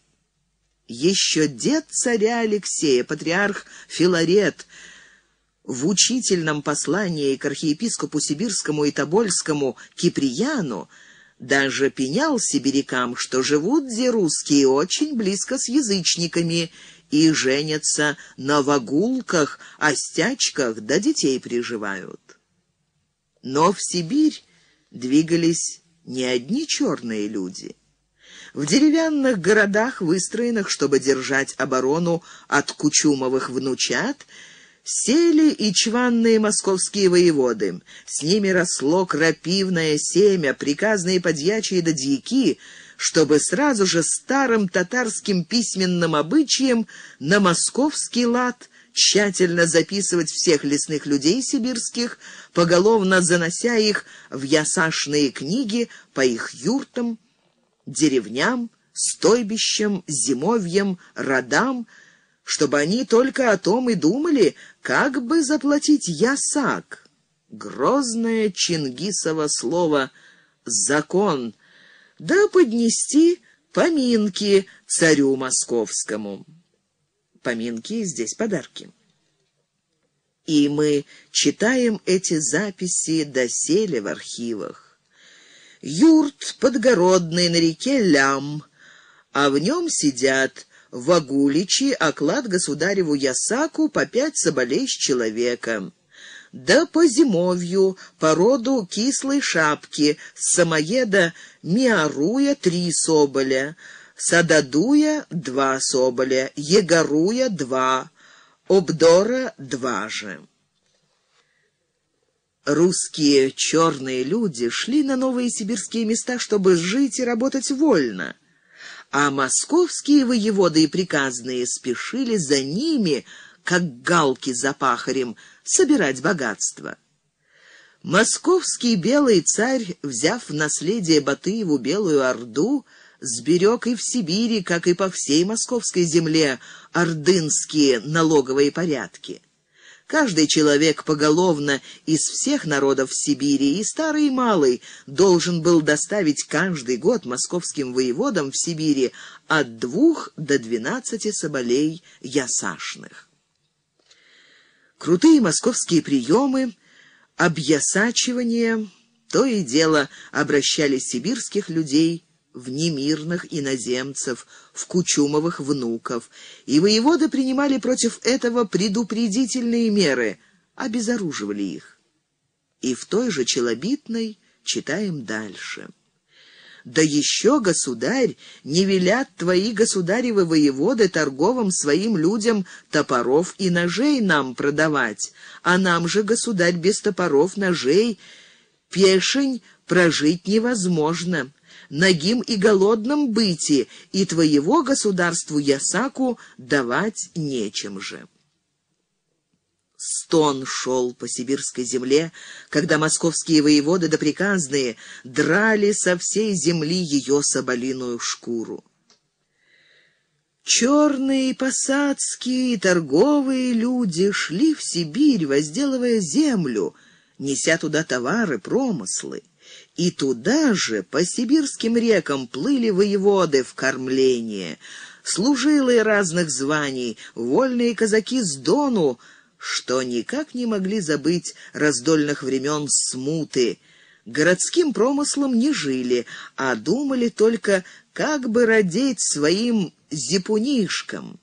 Колоссальные массы — мягкого золота, соболей и других мехов, собираемых с Сибири и выбрасываемых сибирским приказом через Архангельск и Ригу на пухнущий золотом международный рынок Европы, как мед мух, манили к себе этих разного рода звания людей, соблазняли роскошью, которую ввозили заморские гости через Архангельск. По всей земле Простые черные люди обрабатывали поля, собирали и мололи хлеб, промышляли зверя, пряли, ткали, шили, ковали, резали из дерева, муравейно плели невообразимо сложное, все более и более крепнущее плетенье народной экономической жизни.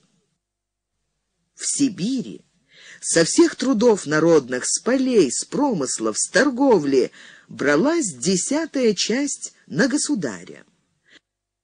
За провоз товаров через заставу брался проезжий рубль. За проход человека через заставу 25 копеек. Головщина. За продажу коня пошерстная 6 денег и роговое — шесть денег со скотины, хлебные за куплю-продажу хлеба — пять копеек с рубля, с мягкой рухляди — одна шкурка с десятка, полавочная за продажу в лавках, за заезжий двор — взимали один рубль, если гость вез с собой товар, брали вещие — за весы, брали заварку пива заповедное, брали штраф за сиденье вина без разрешения двадцать пять рублев. Легко понять, какие ценности в бытовом тогдашнем исчислении московская казна, воевода и подьячие собирали в Сибири, ежели учесть, что в то время одному человеку неделя жизни в Сибири на заезжем дворе с готовыми харчами, квас, овощи, хлеб и освещение стоила один алтын — а дворник наживал на этом две деньги, соболиная же шкурка ценилась примерно в два рубля. Алтын от татарского «алтыни» — шесть денег, три копейки. Значит, каждый лесной человек, обложенный средним ясаком в пять соболей, вносил московской казне в год Десять рублей, то есть содержание одного человека на заезжем дворе в течение почти трехсот пятидесяти недель, то есть в течение шести лет. Служилые московские люди выколачивали деньги откуда только можно. Даже уезжая из сибирских городов в Москву на время, они за двадцать-двадцать пять рублей закладывали сослуживцам своих жен – и те жены повально творят блуд, покуда их не выкупят их мужья. И воеводы жили в Сибири пышно, жирно ели, пьяно пили, и в престольные праздники городских храмов – когда в городах, посадах и слободах съезжался на годовые торги лесной люд, трезвонили колокола, попы пели молебны о царском здравии, рядами стояли вооруженные стрельцы в ярких кафтанах — и народ робко смотрел, как в парчевой шубе с черно-бурым ожерельем, либо в кафтане, надменно высунув вперед бороду лопатой, в собольих шапках, с высоким посохом в руках, шел площадью из своего двора в соборную церковь, сверкая грозно очами он, воевода, хозяин города, уездов, владыка черных людей. До Бога высоко, до царя далеко. Кому скажешь, куда пойдешь? Три года живет уже в Енисейском остроге Тихон Босой, с тех самых пор, как уехал из Москвы. Недвижно горяча июльская сибирская ночь. Тиха ночь, и ежели не спать, мысли кружатся над головой, как мухи. В городище, где стоит двор босых, доносится из леса теплый дух хвои, смолы, Круглый месяц плывет в белых тучках над зубчатым морем черных елей и пихтачей. Енисейский острог на высоком угоре над быстрым, искрящимся под луной Енисеем. Кругом вековая глухомань, леса, холмы, увалы, скалы, горы — Острог окружен тыном с пятью башнями. Блестят под луной кресты двух церквей, пониже, по горе, слобода, посад, да рядом монастырь Рождества Христова. Велик по кривой улице двор босых, примкнулся к самой стене острога. Слышно, как стучат поверху стрелецкие сапоги, как гулко кашляет старик-воротник — в проезжей башне, где перед образом Николы теплится слюдяной фонарь. Созвонницы Троицкого собора ударили в колокол полночь. И словно в Москве со всех сторон голосят негромко караульные славу земле сибирской. Славен город Тобольск, славен город Тюмень, славен город Верхотурье.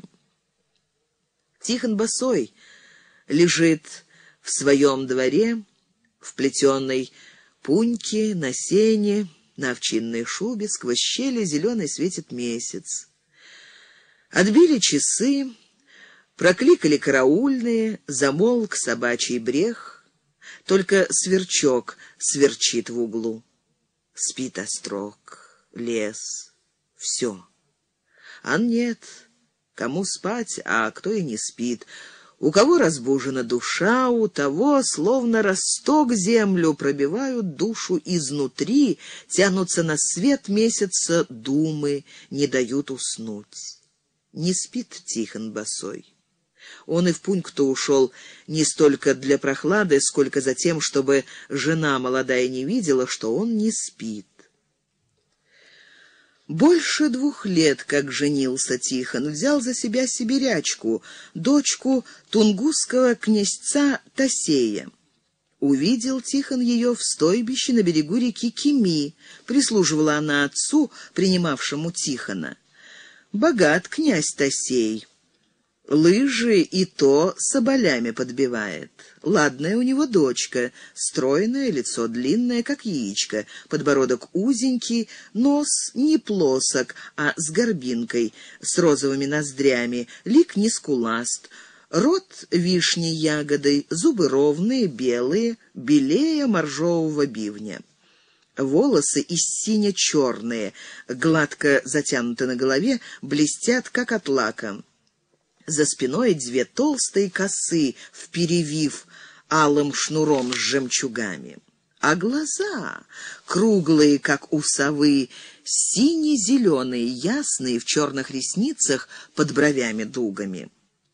Одета была она в тот день в халат голубого китайского шелка с золотыми чудищами драконами на соболях. На ногах расшитые бисером меховые сапожки с острыми загнутыми вверх носками. Хоть и чужой красотой, так была красива лесная эта царевна, что дрогнуло сердце Тихона. Что ж делать? Сила берет свое, жизнь-то идет своим чередом. Не добро человеку единому бытии. Княжне тоже приглянулся богатырь Тихон с выпуклой грудью под красной рубахой, золотобородой, с высокими сильными плечами, с глазами добрыми и серыми. К тому же и отец сказал красавице Зексе, «Этот где русский гость богат, вся Сибирь знает босых, руки его доходят до Москвы, много у него исп с товарами и много лодок плавает у него по сибирским рекам». Тихон тогда же отписал про свою судьбу с нарочным в Устюг отцу Василию Васильевичу. Получил он через полгода ответ и благословение родительское. Икону. Дело-то было подходящее по всем статьям.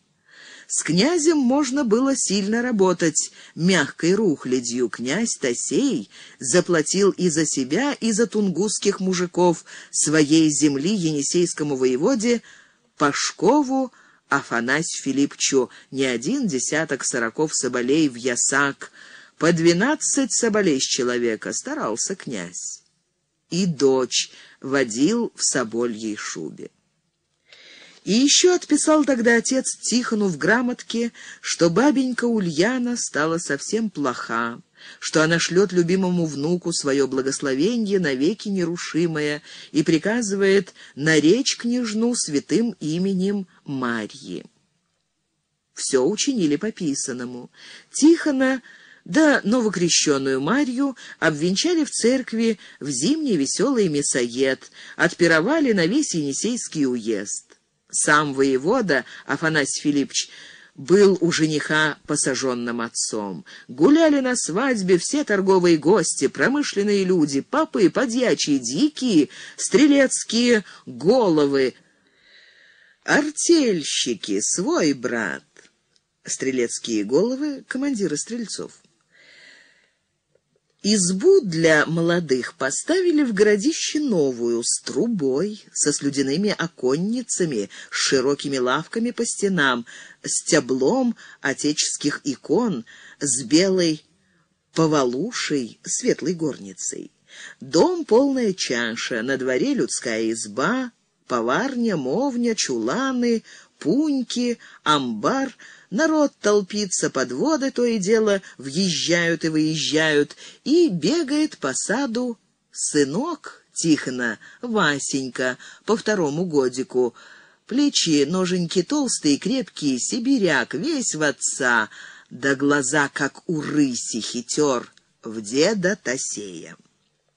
Пунька здесь комната. Про жену Марью тоже ничего плохого не сказать. Ходит павой в бухарских да китайских богатых платьях, брови радугой, красивая, заботливая. Только еще по-нашему плохо может говорить, да избу по-своему меховыми коврами убирает. Богу молится и отчу знает и Богородицу. Но Тихон не раз находил у ней под подушкой ихних деревянных богов. Лесная эта душа как колодец глубокий, вода ясная, одна не видать. И от того, что ли, бывает так до сих пор, что не спится ночами Тихону, мстятся ему другие серые очи, светлые, верные до конца. Вот и сейчас чуть заведет Тихон глаза, перед ним плывет, как в облаке Москва, улицы деревом гладко вымощены, Вершные в цветных кафтанах скачут, Народ торопится, бежит, работает, торгует, избы высокие в два жилья, разные хоромы, церкви белокаменные, Кремль, Красная площадь, Иван Великий. Глянь, шапка валится, ну, столица. Ин половину души своей оставил Тихон в Москве. Уж больно шибко живет Москва, словно лампада негасимая. Чего ж ему не хватает здесь-то? Людей. Людей нет. Все здесь ладно, и дела идут оглухо. Все говорят, а все равно как немые. Для чего ж работает Тихон? Помнит он, как радовался на Белом море, на своей лодье, плывя за рыбой. Много ли ему самому надо? Людей ему надо, правда ему надо. Да кто ее знает, где она, эта правда-то? Не видать что-то. Недавно вот отписал отец, приставилась старица — по весне легла в могилу под свежие березки до топольки в своем монастыре у Троицы. Работает, трудится Тихон, а скучно, ровно он что-то теряет, все душу ровно огнем жжет. Людей, людей бы поговорить, чтобы видно стало, что он не один — что необлыжно он эту правду чует, что у других та же правда в душе, сперва как мышь малая скребется, потом горит, как пожар. Не избыть томных тех дум. Закинула его судьба в Енисейский острог, в самую середку Сибири, как на остров на море, горы, леса, реки, чужие люди в шкурах — Сзади тысячи верст до Москвы, а впереди белоснежные горы Саяны да Байкал-море. Спокойно здесь, а томно. В Москве шум, да на душе тихо. В углу пуньки в месячном свете блестит серебряная икона, а и помолиться. Да разве пристала молитва могутному мужику? На медне завернул на двор к Тихону за милостыней здешний монашек, отец Еремей, рыжий, лядащий, на одну ногу хром, горб сзади, бороденка веревкой, а глаза веселые подмигивают. Сибирский он монах из мужиков, простец. И посмеивается отец Еремей. Молиться? «Что ж, молись, это ничего», — советовал он Тихону на его вопрос, как избыть ему тоску. «Только, друг, молитва не все. Ты за стол садясь, просишь у Бога хлеба? Ага.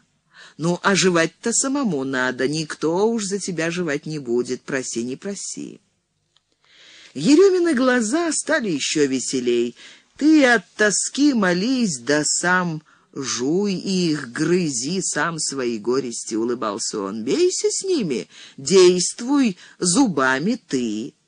А с одной-то молитвой и с голоду помрешь. Богу ленивцы притят. С головой уходит Тихон в работу, чтобы Аньшу свою забыть. А может, любовью правду добывать нужно, кто скажет. Сам Тихон зовет себе заботы, вышибает клин клином, от забот-то легче не спать, чем от тоски. Не в проворот заботу Тихона, и первая забота — люди. Ульяш вот привез товары из Устюга. Нужно их к осеннему до зимнему времени раскидать по заимкам до зимовьем охотницким партиелям. Зверья в округе к тому же меньше стало, зверь-то он умный. Раньше в Енисейском соболей, бывало, бабы в остроге коромыслами били, а теперь зверь уходит дальше. Нужно за ним идти, искать промышленных новых мест.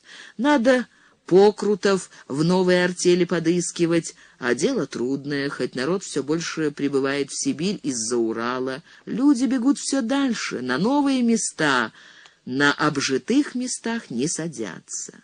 И сильно бегут. Сказывают, царь воевать хочет с Польшей, а к войне деньги надобе.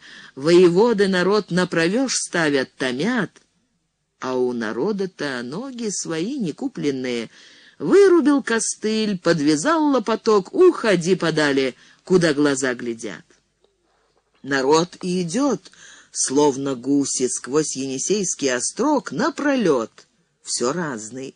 Крестьяне с Волги, что от помещиков, с их будных заводов до спашен, до соляных варниц отбежали. Сыльные, что пытку выдержали, да не признались в том, что с них сыскивали недоимщики, чтоб на провёже не стоять, да гулящие, нигде не приписанные люди. И народ идет непростой. Все калачи тертые, смелый, грамотный, почти поголовно, незнакомый. Как такого человека в артель примешь? Как казну доверишь? Опасно. Возьмет товар, соболей выменяет, наловит и ищи ветра в поле, волка в лесу. И бегут они все, как слышно, к Хабарову, на великую реку Лену, да за Байкал море. Слышно, собирает Хабаров охочих людей, новые он свободные места промышлять хочет.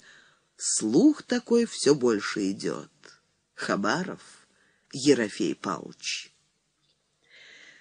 Хабаров Мальчишкой малым еще помнит себя Тихон, дед покойник Василий Степанович был еще жив, стояла белая зима перед Рождеством.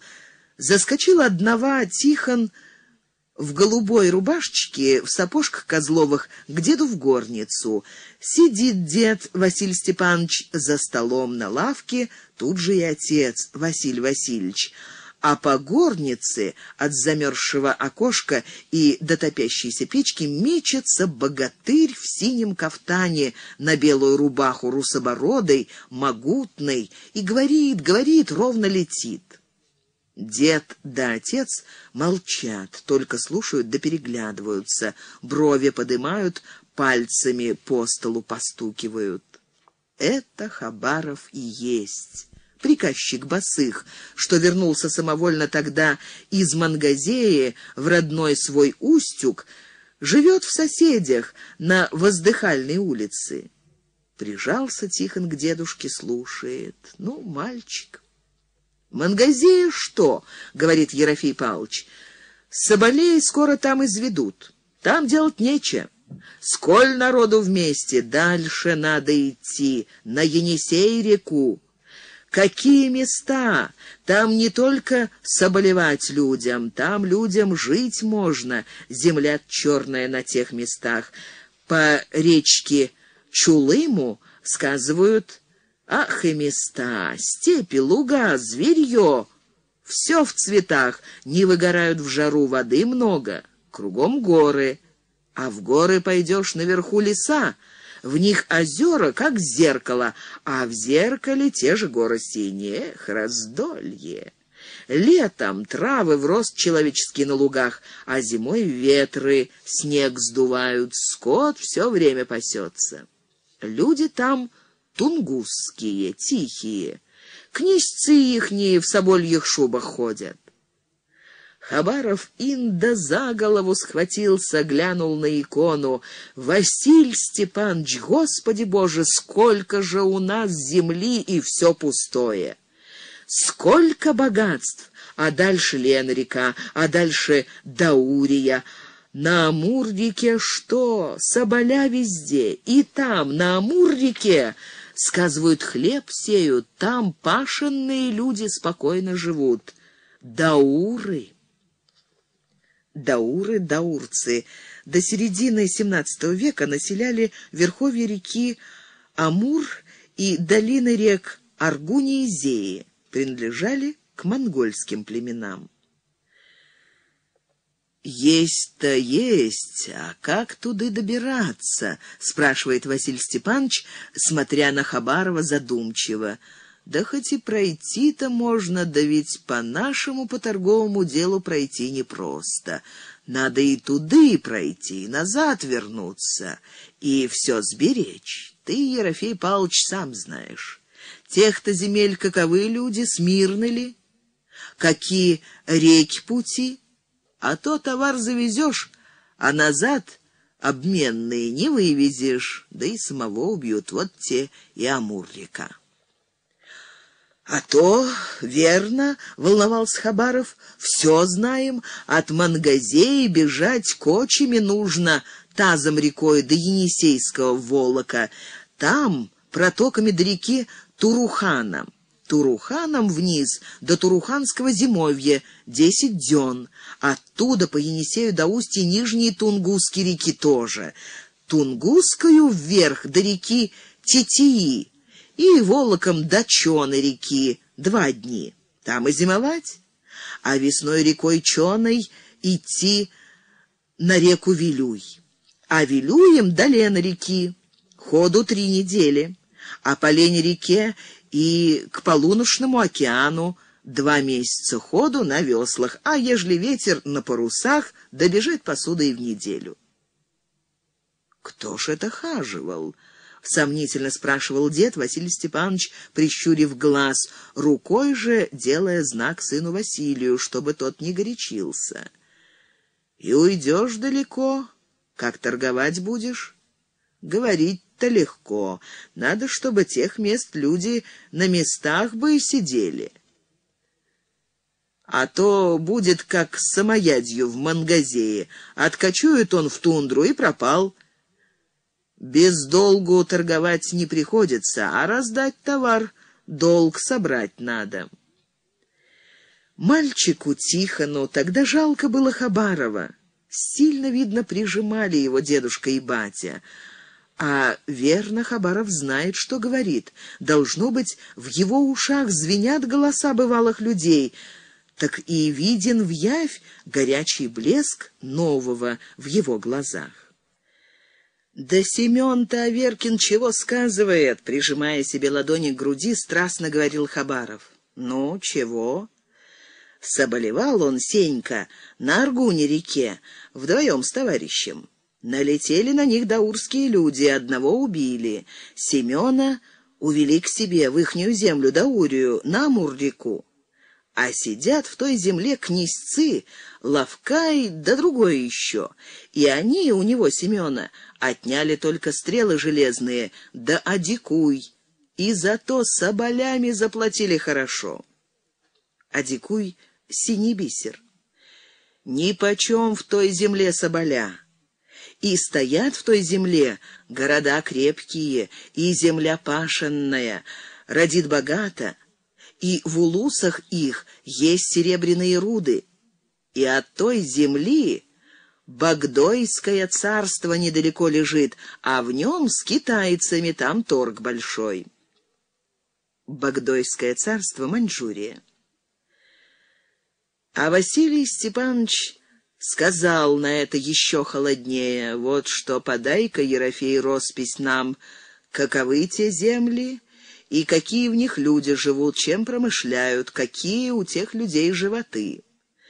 Да пиши по статьям, какими реками плыть, да чертеж той земли подай, а то, как мы тебя туда снарядим, на расход пойдем».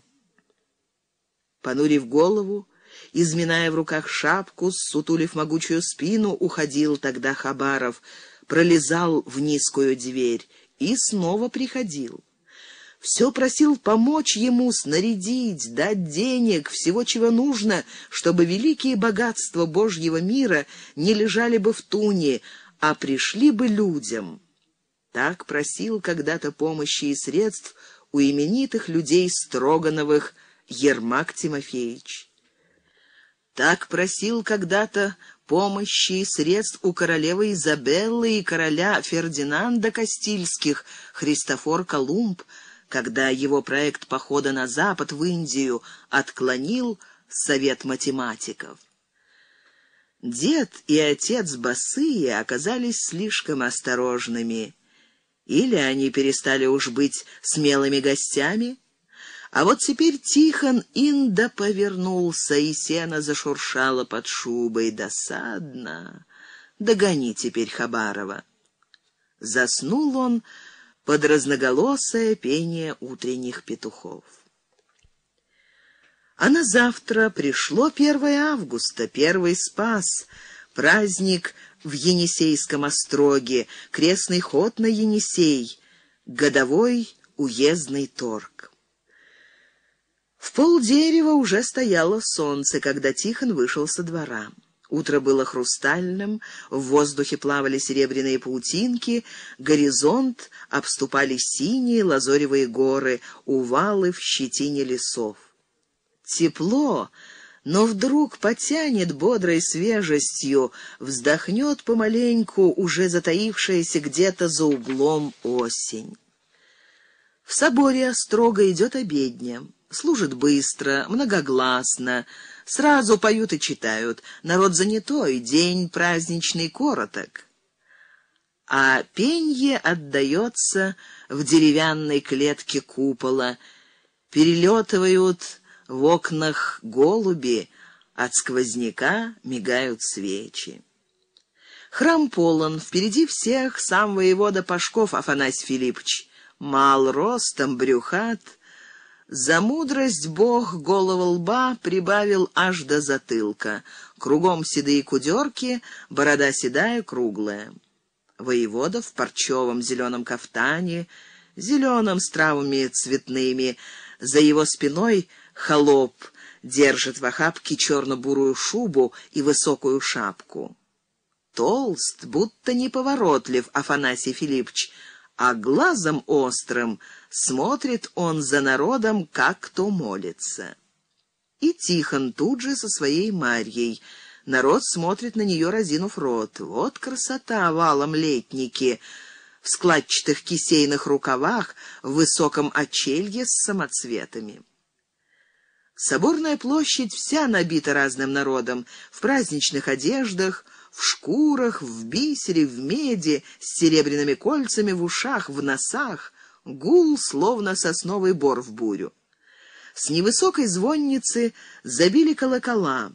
Из храма выносили склоненные слюдяные фонари, высокие хоругви, выползла певчая братья, и вот в ладанном дыму явился сожженный крест — покачиваясь, поплыл под Спасскую проезжую башню и вниз по крутому спуску на Енисей-реку, всю в серебряных блестках, в лиловых ветровых проплешинах. А у берега еще со вчерашнего дня сотни лодок и русских кочей, насадов, стругов и сибирских байдар из шкур — что сплылись здесь на праздник из деревень, заимок, зимовьев, стойбищ, юртов. Церемония кончилась. Начались торг и мена. Люди брали и отдавали друг другу то добро, что каждый из них сделал. И тут, на берегу Енисея, в темные леса, к местным людям благодатно потекли товары, сделанные искусными руками устюжских, ярославских, вологодских, московских, посадских, хлеб, выращенный вологодскими, пермскими, тюменскими мужиками, а местные люди не умели еще творить заново, имели и давали то, что брали у природы. Народ перемешался, слышались слова на разных языках. В ход пошли руки, пальцы, топоры, ножи, веревки, холсты, одежа, менялись на меха, на оленью равдугу, на медвежьи и волчьи шкуры, на белоснежных горностаев, огненных и черных лис, на голубую белку, на темно-коричневых бобров. Равдуга — шкура. Тихон стоял на берегу, на зеленом пригорке, щурился от солнца, следил, как быстро, сноровисто работали его артельщики, меняли басовский городской товар. Рядом с Тихоном стояла Марья и, сияя красотой и нарядом, то и дело дергала за рукав. «Пойдем, Тиса, пирог стынет». И холодок лился из ее зеленых глаз. Ей бы только что поесть, думал Тихон. Кровь, что ли, она у батьки пила горячую, губ-то и посейчас, как у оборотня, ух, и отвернулся. Тихона снова тронули за локоть, он повернулся уже было с гневом. Нет, не Марья то была. Она ушла, ее алый сарафан был в полугоре. Широкоплечий мужик с окладистой черной бородой — в белой заношенной рубахе, в лаптях, улыбался застенчиво Тихону. Тихон Васильевич, каково здоров? Словно ветром в лоб дунуло Тихону.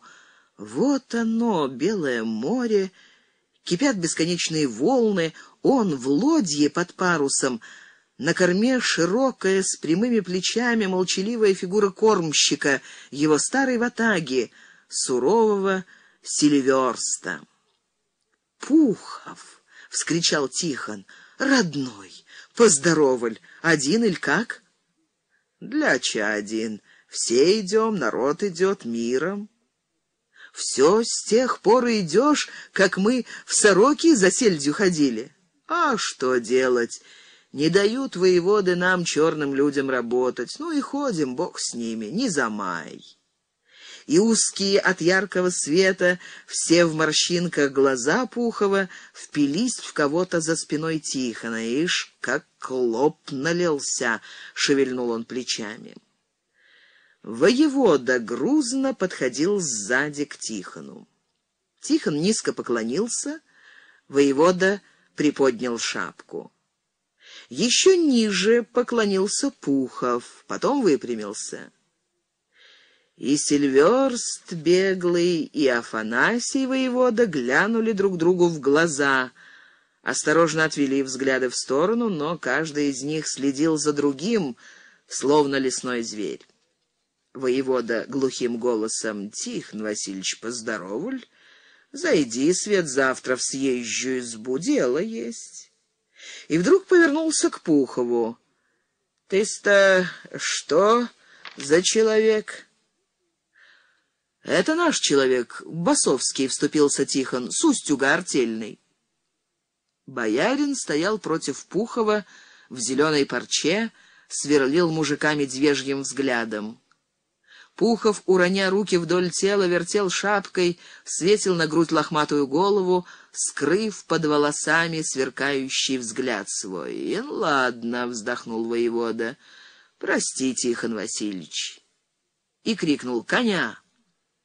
Белый, словно сахар, жеребец легко понес блестящего, как жук боярина, вверх по крутому въезду в городище, воткнувшееся своими прапорцами на башнях в синее небо, в крутые облака. Пухов взмахом головы откинул с глаз волоса и поднял на Тихона озорные смеющиеся глаза. «Ну, брат Сильверст!» «Айда на мой двор», — сказал Тихон. «Закусим, что Бог послал. Так значит, ты должно к Хабарову». Идем? А как же, ответил Сильверст. Куда народ, туда и мы. Глава четвертая. Слобода опытовщика Хабарова. Хабаров тогда из Устюга все-таки ушел на Лену-реку. Бросил Мангазею, ушел сам третий с братом да племянником. На коче с маломальным своим пожитком плыли Хабаровы по Турухан-реке. Оттуда на Нижнюю Тунгуску, что течет навстречу с востока. Две пары остроухих остяцких собак бежали по галькам бечевника, ладно перебирали обвязанными в мягкую кожу лапами, таща против воды одинокое суденушка. Тянулись прибрежные явники, скучное мелколесье да чернолесье. Из ивников у воды изредка торчали убогие остяцкие чумы под бурым корьем, под белой берестой. Из них сходили дымки. Людей, видно, не было. Они убегали в кусты, в леса, а слышен был только злой собачий лай. На берегах торчали голые скалы, то как развалины стен, то как высокие идолы — голые уступчатые башни и отдельные на них лиственницы смотрели сурово и неприветливо. За дальними лесами белели снегами горные хребты. Утрами на песчаных отмелях, на косах было словно навалено снегу, белые лебеди кликали трубно. Дремали, стоя на одной ноге цапли, на зеленых лужайках плясали журавли. Утки, словно нанизанные парами на нитку, носились с берега на берег, то и дело взлетала болотная водяная птица. Туманы розовели от подымающегося солнца, и тогда к берегу выходили из перелесков серые стада репцов и тетеревов.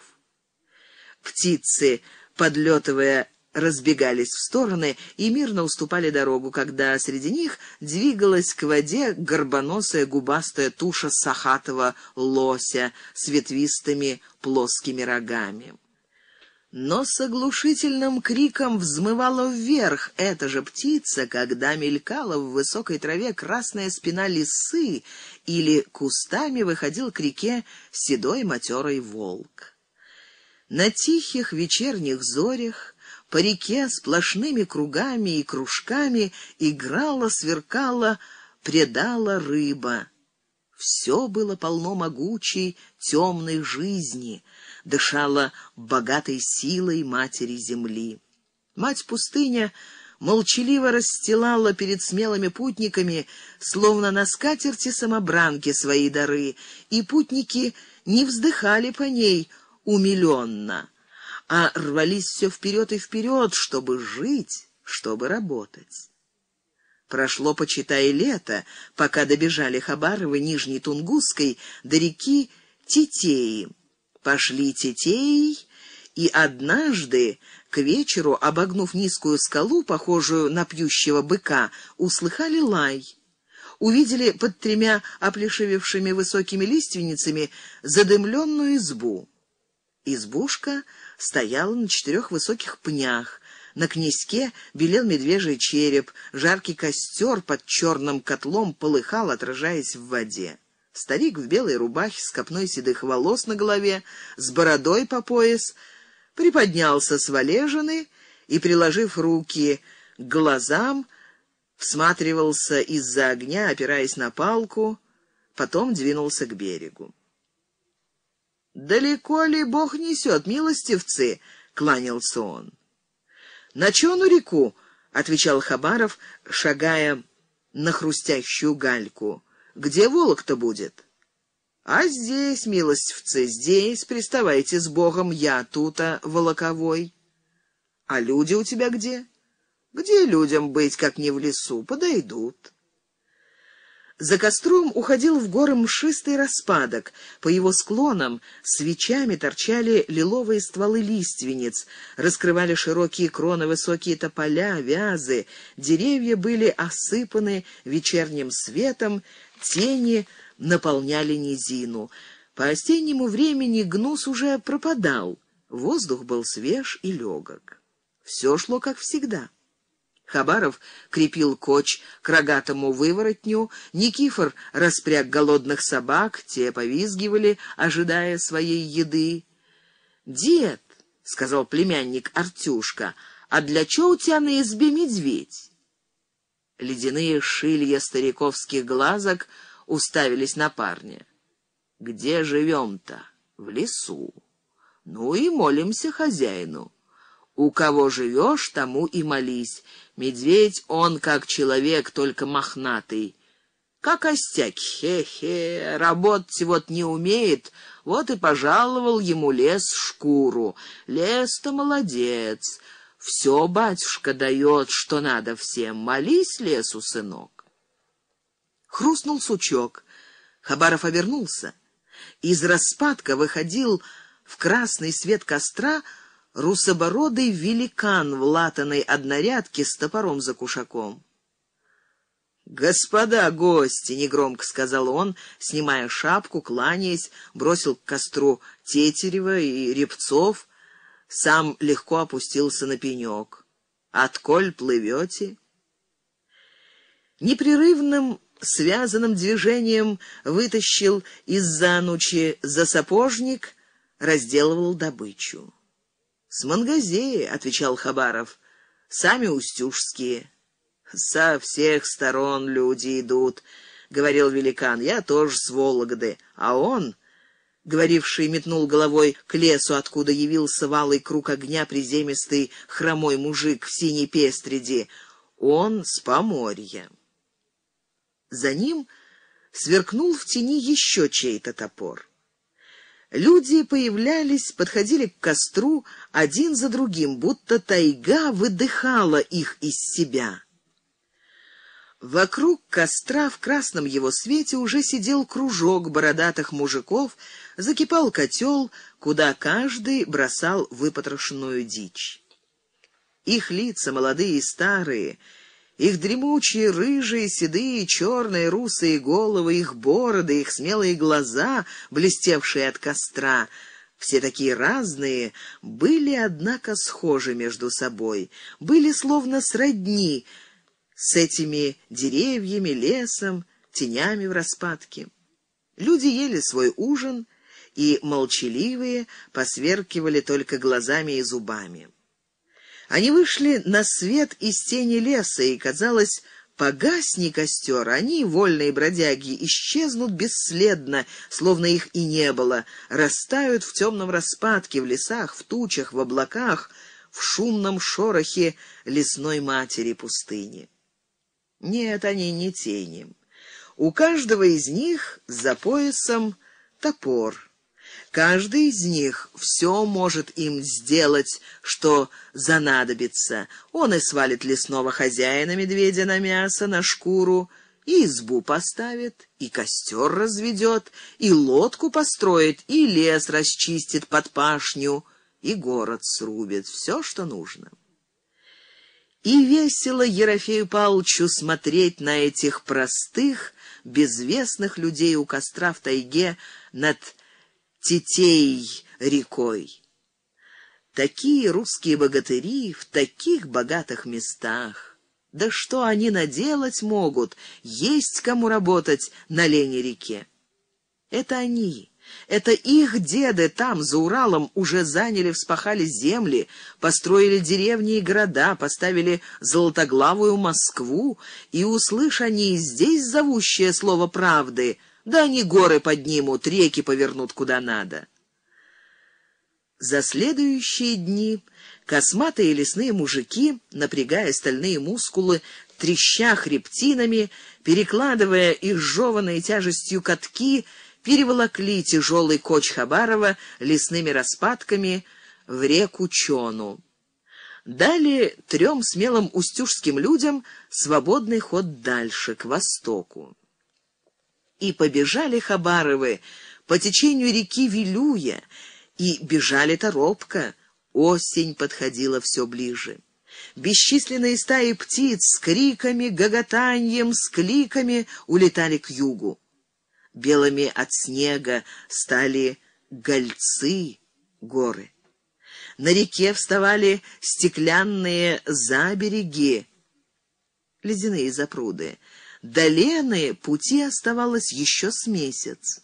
Выбрали место у выворотня лиственничной лисины под яром на полдень, вырыли землянку, прикрыли вход медвежьими да лосиными шкурами, нарубили в три топора запас дров, и скоро пришла, посыпалась снегом старая белая зима.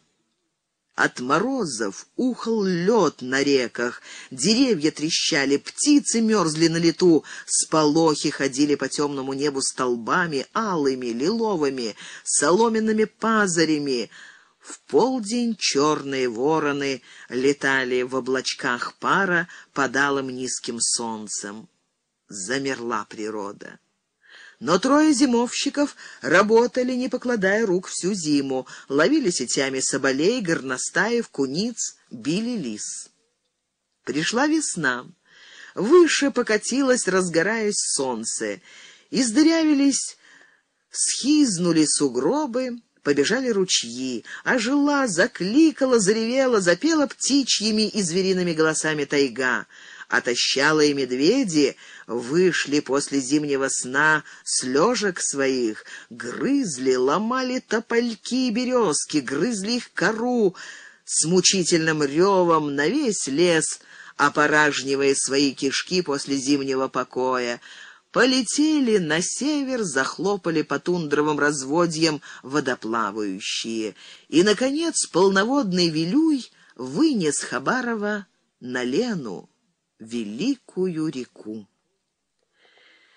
Неприветно, угрюмо показалась она землепроходцам, хоть и сильна. На дворе уже июнь, а берега реки еще завалены льдами. Серые свинцовые воды медленно текут на север, к полуночному океану. Людей на Лене мало, народ не мирен. Погода дышала холодом, и Хабаров со товарищами решили подниматься по линии на полдень, искать место, где ставить себе зимовку.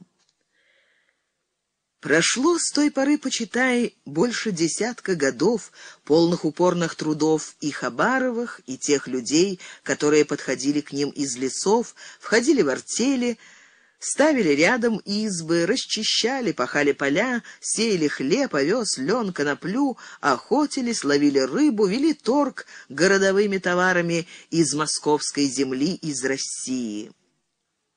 Жили в Новой Слободе вольным новгородским обычаем, как жили теперь в остатнюю разве одни казаки на Дону. Все больше и больше на их торги выходило из лесов местных жителей, приплывало на берестяных, кожаных лодках, приезжало на собаках, на оленях.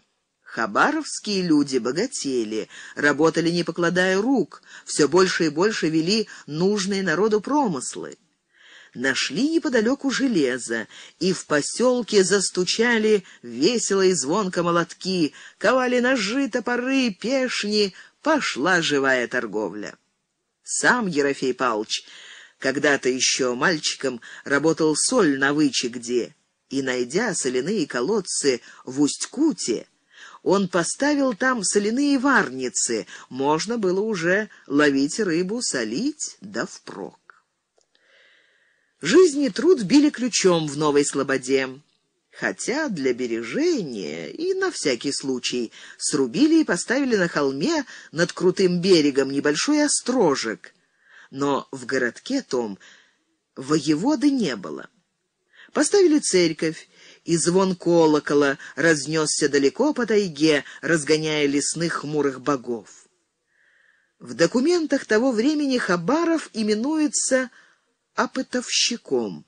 Он смело и умно ставил опыт жизни на новых местах, и слухи о вольной жизни в Слободе на Лень-реке бежали далеко кругом. Однако вольной жизни пришел конец. За Хабаровым съехал с Москвы на Лену воевода Головин Петр Петрович и поставил якутский острог недалеко у устья реки Вилюя. Задачи у Головина были иные, чем у Хабарова. Речь шла уж не о работе, не об осваивании этих пустынь трудами. Москва давала ему наказ осваивать земли, объясачивать народы, досмотреть крепко, которые реки впали устьями в море, и сколько от одной такой реки до другой дён ходу парусом или греблею, и расспрашивать про те реки подлинно, как те реки слывут, называются, и отколи они вершинами выпали, и какие люди на тех реках живут, и скотинные ли они, пашенные ли, и какой у них хлеб родится, и зверь-соболь есть ли, и ясак, платят ли они, и ежели платят, то в какое государство и каким зверем. А дальше шли указания уже специального значения. И в том государстве какой оружейный бой, и товары им какие надобны, и на какие товары с ними туземцы торг ведут, проведать тебе подлинно а приехав к себе обратно, явиться к расспросу и опись и всяким землям чертеж подать к съезжей избе. Сибирский приказ в Москве отлично понимал, что русские люди в Сибири подходят к местам иного склада, не таким, какие были доселе, что здесь иноземцы могут быть немирны, что тут начинается влияние других государств, что тут движение вперед оказаться может не так легко, как прежде, что возможно сопротивление. Затрудняло дело и дальность снабжения от Москвы и других хлебных мест, расстояние стало очень большим. Пороху уже, свинцу, а главное хлеба и товаров требовалось все больше. День был жаркий. Хабаров только что вернулся с поля, где жал с артелью хлеб, сел обедать. Подавала ему орочонка, которую он, как рабыню, выменил на соль, жил же с нею, как с венчанной женой. Маленькая, с быстрыми черными глазками, похожая на лесную птицу, она все время пугливо посматривала на своего властелина, боялась его, не верила, что он ей муж. Но визгливо бронила его из ревности, лезла с кулаками. Хабарову это нравилось. Его первая жена была сытая, белая, сдобная и очень любила спать. А Агафья, так окрестил орочонку бродячий поп Ануфрий, день-деньской носилась по сушилам, амбарам с мехами, была переводчицей, помогала мужу изо всех сил. Агафья поставила на стол горшок щей и свежей капусты и, вытирая руки передником, бросилась к окну. Во двор кто-то въезжал, чего-то спрашивал. «Батушка, цой-то все кричат», — сказала она. Хабаров встал и, дожевывая кусок, выглянул в окно. «Тебе не разобрать», — улыбнулся он, похлопывая Агафью так по спине, что маниста в косах забринчали. Государь, запыхавшись, кланялся со двора в окно широкоплечий конюх Фирс. Ребят кричат с реки, струги снизу бежат. Ну, со стрельцами, три лодии. Не было б дурно. Хабаров сдвинул брови бросил недоеденный кусок хлеба на стол. По времени с едой Агафья гости, должно незваные. Быстро натянул сверх рубахи синий кафтан и, выпрастывая из-под полы бороду, сбежал с крыльца во двор, зашагал к берегу. Лена против слободы была еще не широка. Сильно дул низовой ветер, лиловые волны катились вдоль реки, шумя беляками, березы на юру шатались, кланялись. За желтыми отмелями, за зеленью лугов, за синими гребнями лесов белели широкой полосой снега на отрогах саян. Ветер дул ровно и наносил то цветами слугов, то солнечным теплом. Хабаров из-под руки смотрел с кручи берега на приближавшиеся паруса стругов, набитых стрельцами. Сюда подошли. Стало видно, как выцвело сукно кафтанов, как бледны бородатые лица стрельцов, как угрюмо и недоброжелательно глядят на мирную цветущую слободу их запавшие глаза.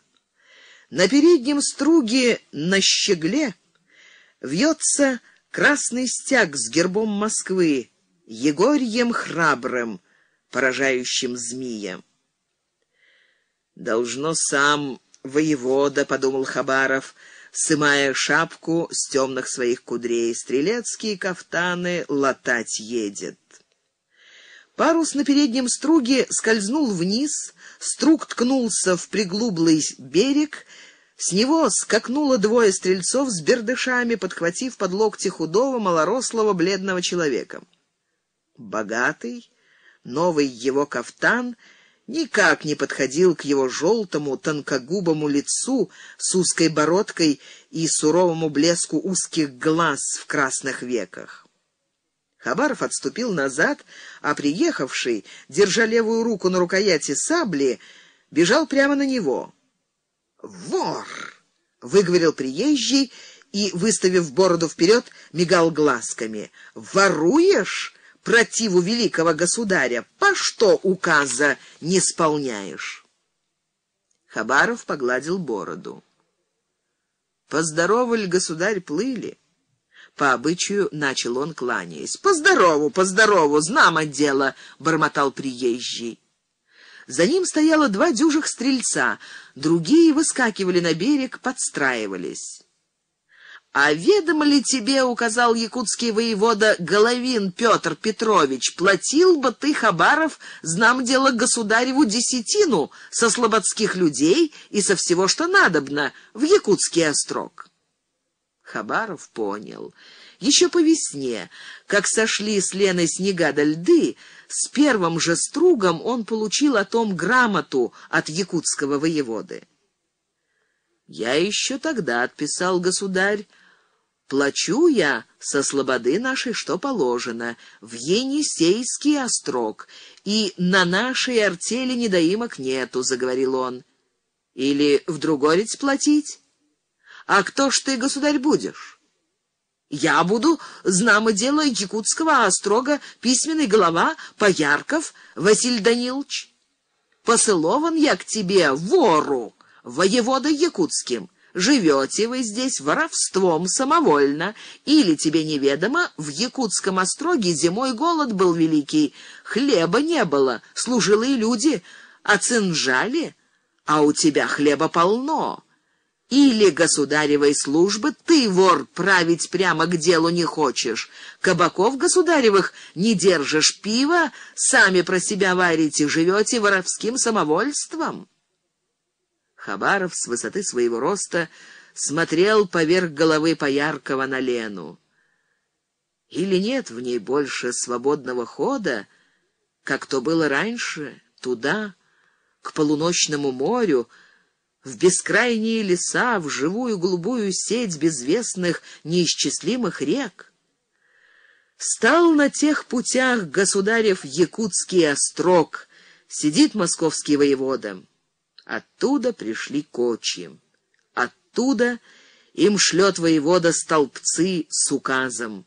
Оттуда же приплыли голодные, злые, с огненным боем служилые люди в ношных кафтанах. Не пахали, не сеяли, не жали эти люди, а только великоханским обычаем писали списки на черный люд, с кого и сколько причиталось побору, да еще списки ясашных людей, сколько с кого взять ясаку. Вот они, за спиной Пояркова стояла полусотня с тяжелыми ружьями, блестели полумесяцы бердышей.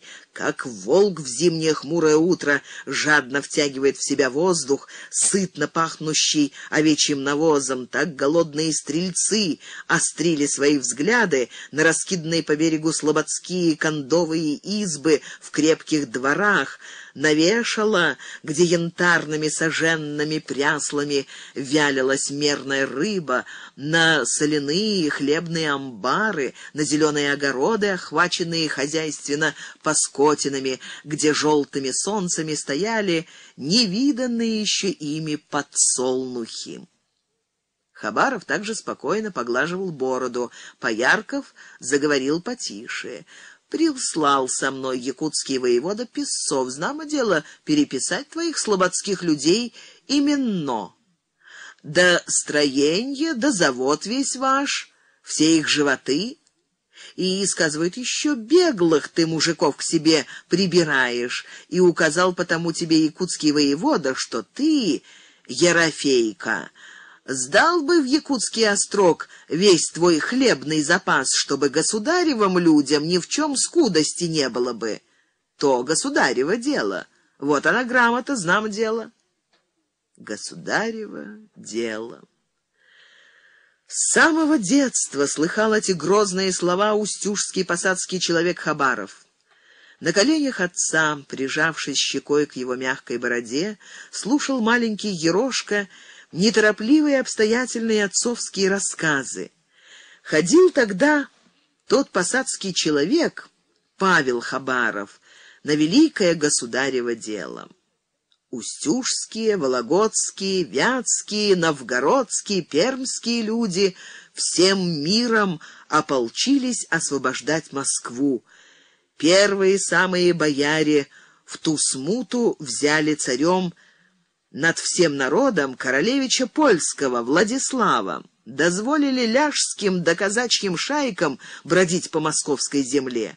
Он, Павел Флегонтов, сын Хабаров, был тогда во всенародном ополчении у Кузьмы Минина, сам бился крепко против пана Хаткевича под стенами Новодевичьего монастыря у Москвы-реки, плакал от радости, видя, как бросились в бой казаки Трубецкого.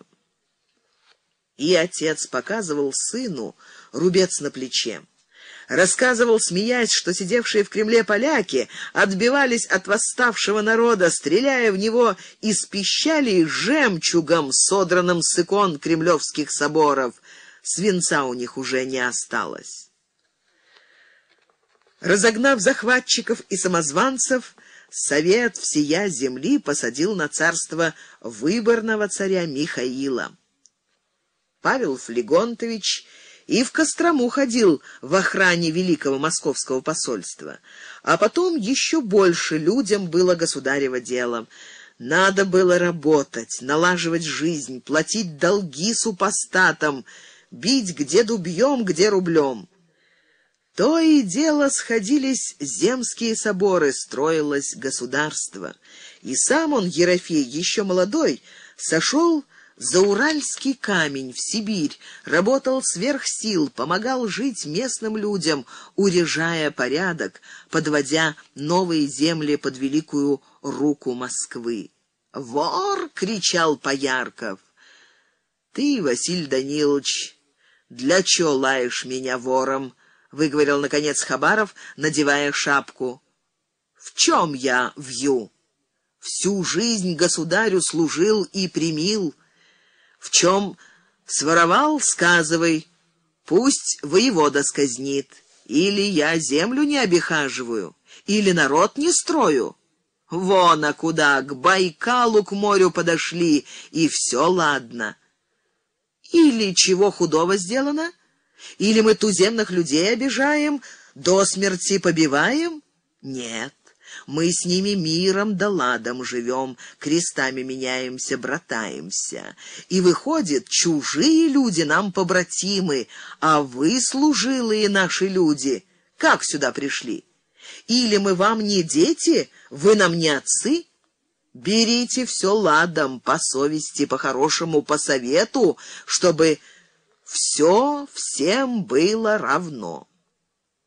Хабаров стоял на зеленом берегу великой реки Лены, залитый летним солнцем, большой, ладный, в синем своем кафтане, развернув плечи, положив загорелую руку на просить бороды. За ним стояла мирная земская сила, его сбежавшиеся люди. А против них стоял у воды письменный голова, Поярков, ухватившись левой рукой за рукоять огромной не по росту сабли, и то же самое солнце сияло на богатый его кафтан. Хабаров говорит, «Ладом берите, что надо». Не знает он смерть, каково государево дело, ладом, чтобы всем было вровень. Или царь тебе, собаки, ровня?» Кто выше царя? Что ж ты и с Богом спорить будешь? Не то что в добре, в самой жизни твоей волен царь. Живешь, значит, служишь царю. Кто не служит, тот ему ворог, супостат, нехристь. Кто с царем, тот верный царский раб, а кто не раб, тот против царя.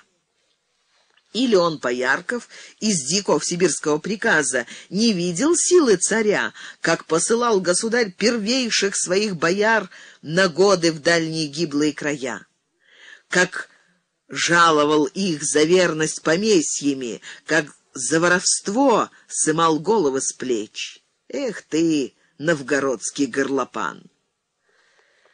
Так стояли они, оба русские люди, Поярков и Хабаров, друг против друга. Сила земли у Хабарова, сила власти у Пояркова. И между ними змеями велись раздорные молнии, рвались они к одной и той же великой цели, сойдясь на единой тропе.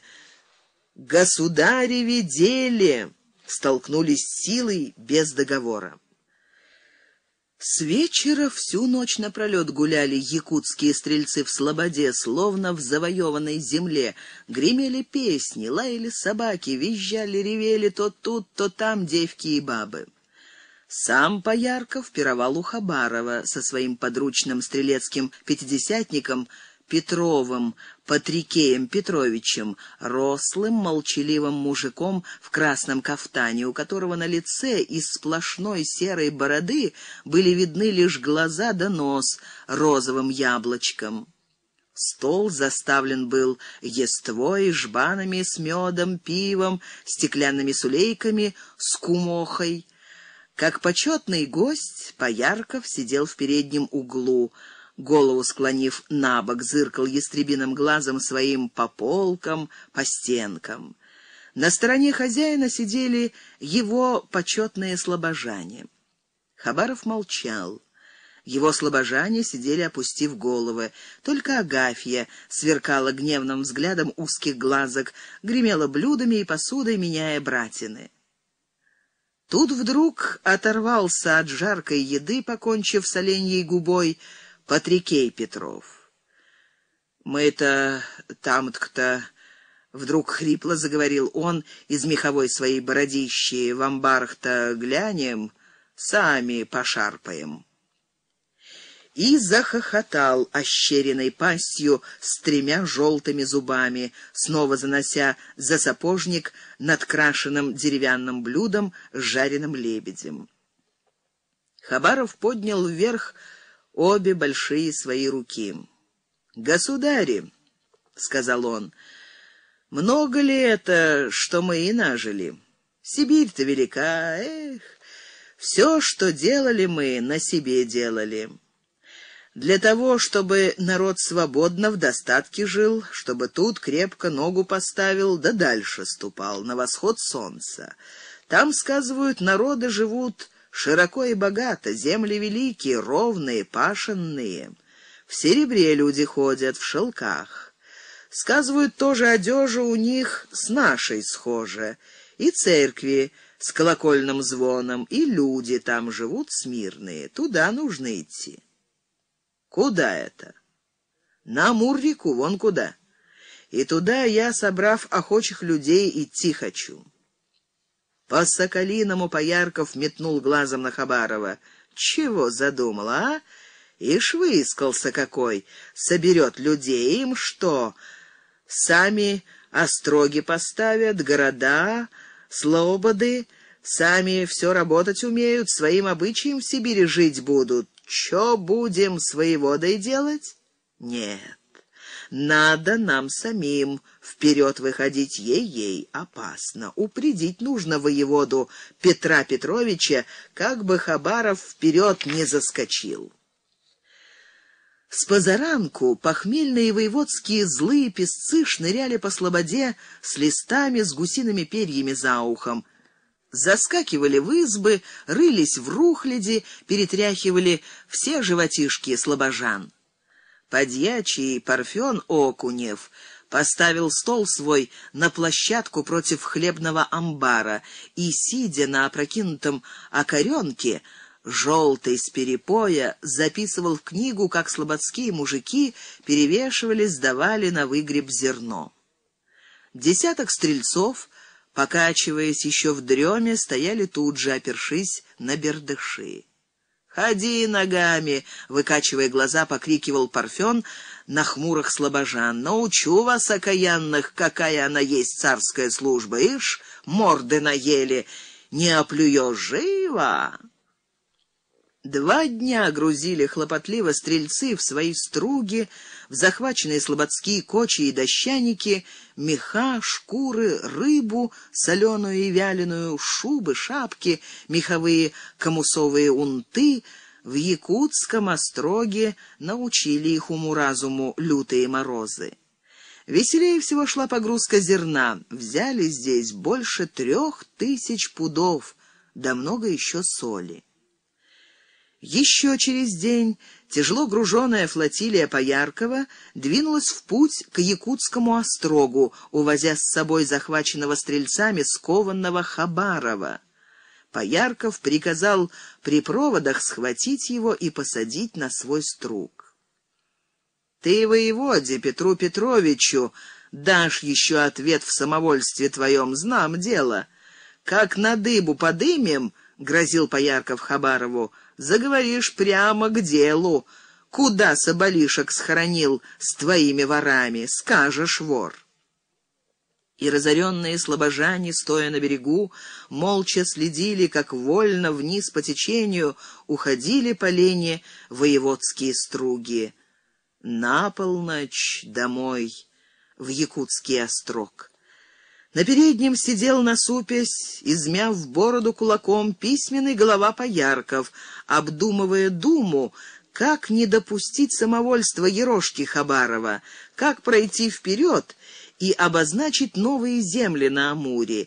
И самому выгодно, и государь не забудет верной его службы. Глава пятая. Селиверст Пухов. Селиверста Пухова Тихон привел в избу, за стол никого из своих не звал. Марья, сверкая зубами и глазами, сама собирала стол, как положено, на такой праздник. Уставила братинами с пивом, с медом, поставила вино на стойки. Девки понесли еству в глиняных, оловянных, деревянных блюдах, Пареное, жареное, пироги, баранину, оленину, убранные огурцами да капустой с подливками, с луком да чесноком, рыбу жареную, тельное, миски с похлебкой, ухой со сладким взваром. Больно был рад хозяин нежданному гостю, угощал, подкладывал, наливал. Оживало ведь пережитое. Вставала двина в золотых песках, сем же, изба Паньшиных.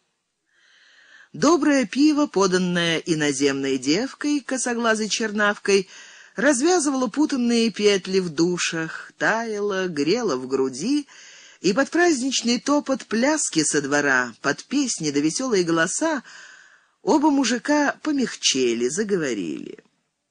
«Бежишь, стал быть?» — спросил Тихон, заглядывая в пустую братину — а вошедшая на этом слове Марья, как конь вздернула головой.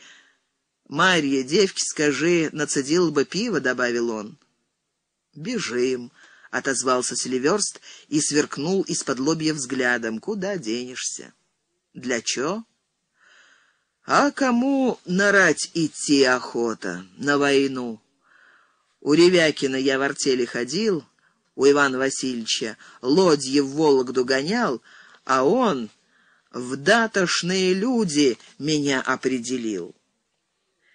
В датошные люди, значит, на военную службу.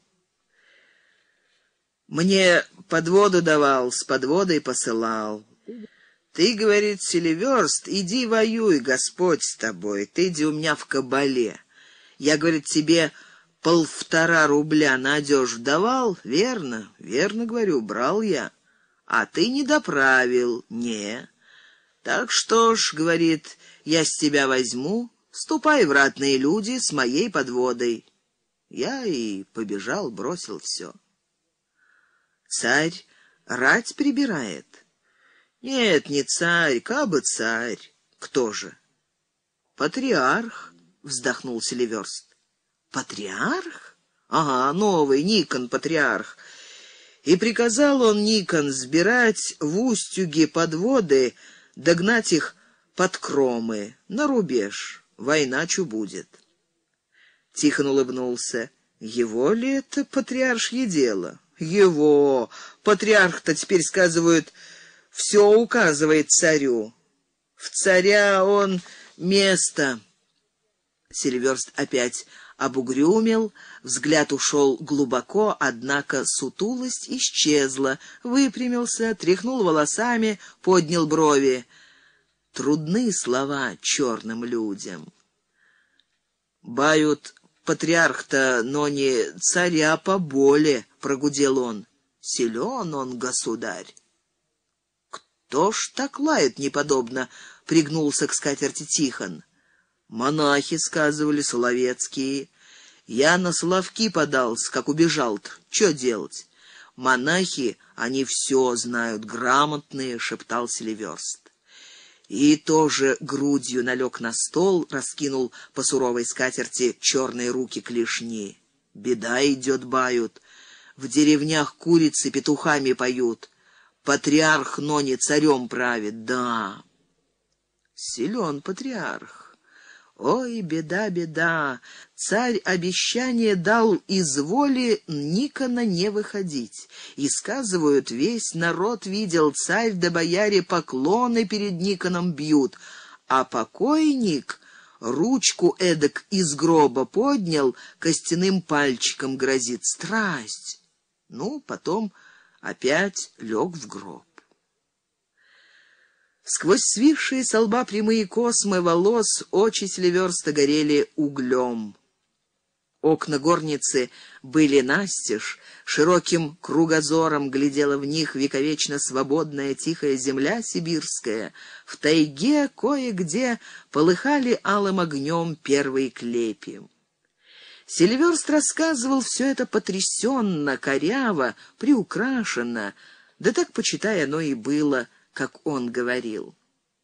В жаркий июльский день переполнивший Успенский собор народ московский, чины, бояре, духовенство во главе с царем Алексеем у гроба Филиппа стояли на коленях перед Никоном, митрополитом новгородским и великолудским, кланялись земно со слезами потрясенно, умоляя жесткобородого, сидеющего гордеца возложить на себя сан патриарха Московского и всея Руси, чтобы спасти земное могучее царство, насквозь просветив его вечным небесным светом вопящему, рыдающему народу в могучем монахе, в пудовых золотых ризах чудились великие силы и орлиная зоркость духа. Косматые бородатые головы кружились от веры. Курился синий ладан над высокими сводами меж четырех столпов Успенского собора — Солнце сияло над Москвой, над блаженной толпой, стоявшей на коленях по всей Ивановской площади. Казалось, сам Господь Бог с сонмом небесных сил своих вот-вот сойдет с небес, укрепит этих метущихся, взволнованных людей Москвы. Твердо, хитро и расчетливо шел Никон по пути, который предсказал ему когда-то мордовский колдун. Два раза отказывался Никон, три раза валились перед ним земно, царь, бояре, народ. «Будете ли вы почитать меня как отца верховнейшего?» — выговорил, наконец, Никон дадите ли вы мне власть строить церковь? Великой клятвой клялись царь и бояре, что будут исполнять все, что укажет Никон. Никон тогда согласился, и в церемонии настолования патриарха Корнилий, митрополит Казанский и Свияжский возгласил. Настолование здесь поставление патриарха. Божественная благодать, еже всегда немощная, исцеляющая и недостаточно восполняющая, поставляет бывого митрополита Новгородского и Великолудского Никона, ныне же патриарха, в богохранимом царственном граде Москве и всея Руси. Аксиос. Достоин трижды прогремел хор. Новый патриарх обратился тогда к царю и к народу со словом. Он сказал так: мы же должны молить и всемогущего Бога, яко до тобою, пресветлым государем, благочестивое ваше царство, снова он воспрославит и распространит от моря до моря, и от рек до конца вселенной, и все расточенное во благочестивое твое царство возвратит и соберет воедино, чтобы был ты вселенским царем и самодержцем христианским, сиял бы, как солнцу единому, одному посреди звезд. После обедни Никон в шествии ехал сам, словно Христос на осляте вокруг Кремля, а коня вел под усы покорно царь Алексей. Твердо ступал Никон на ступеньки патриаршего престола.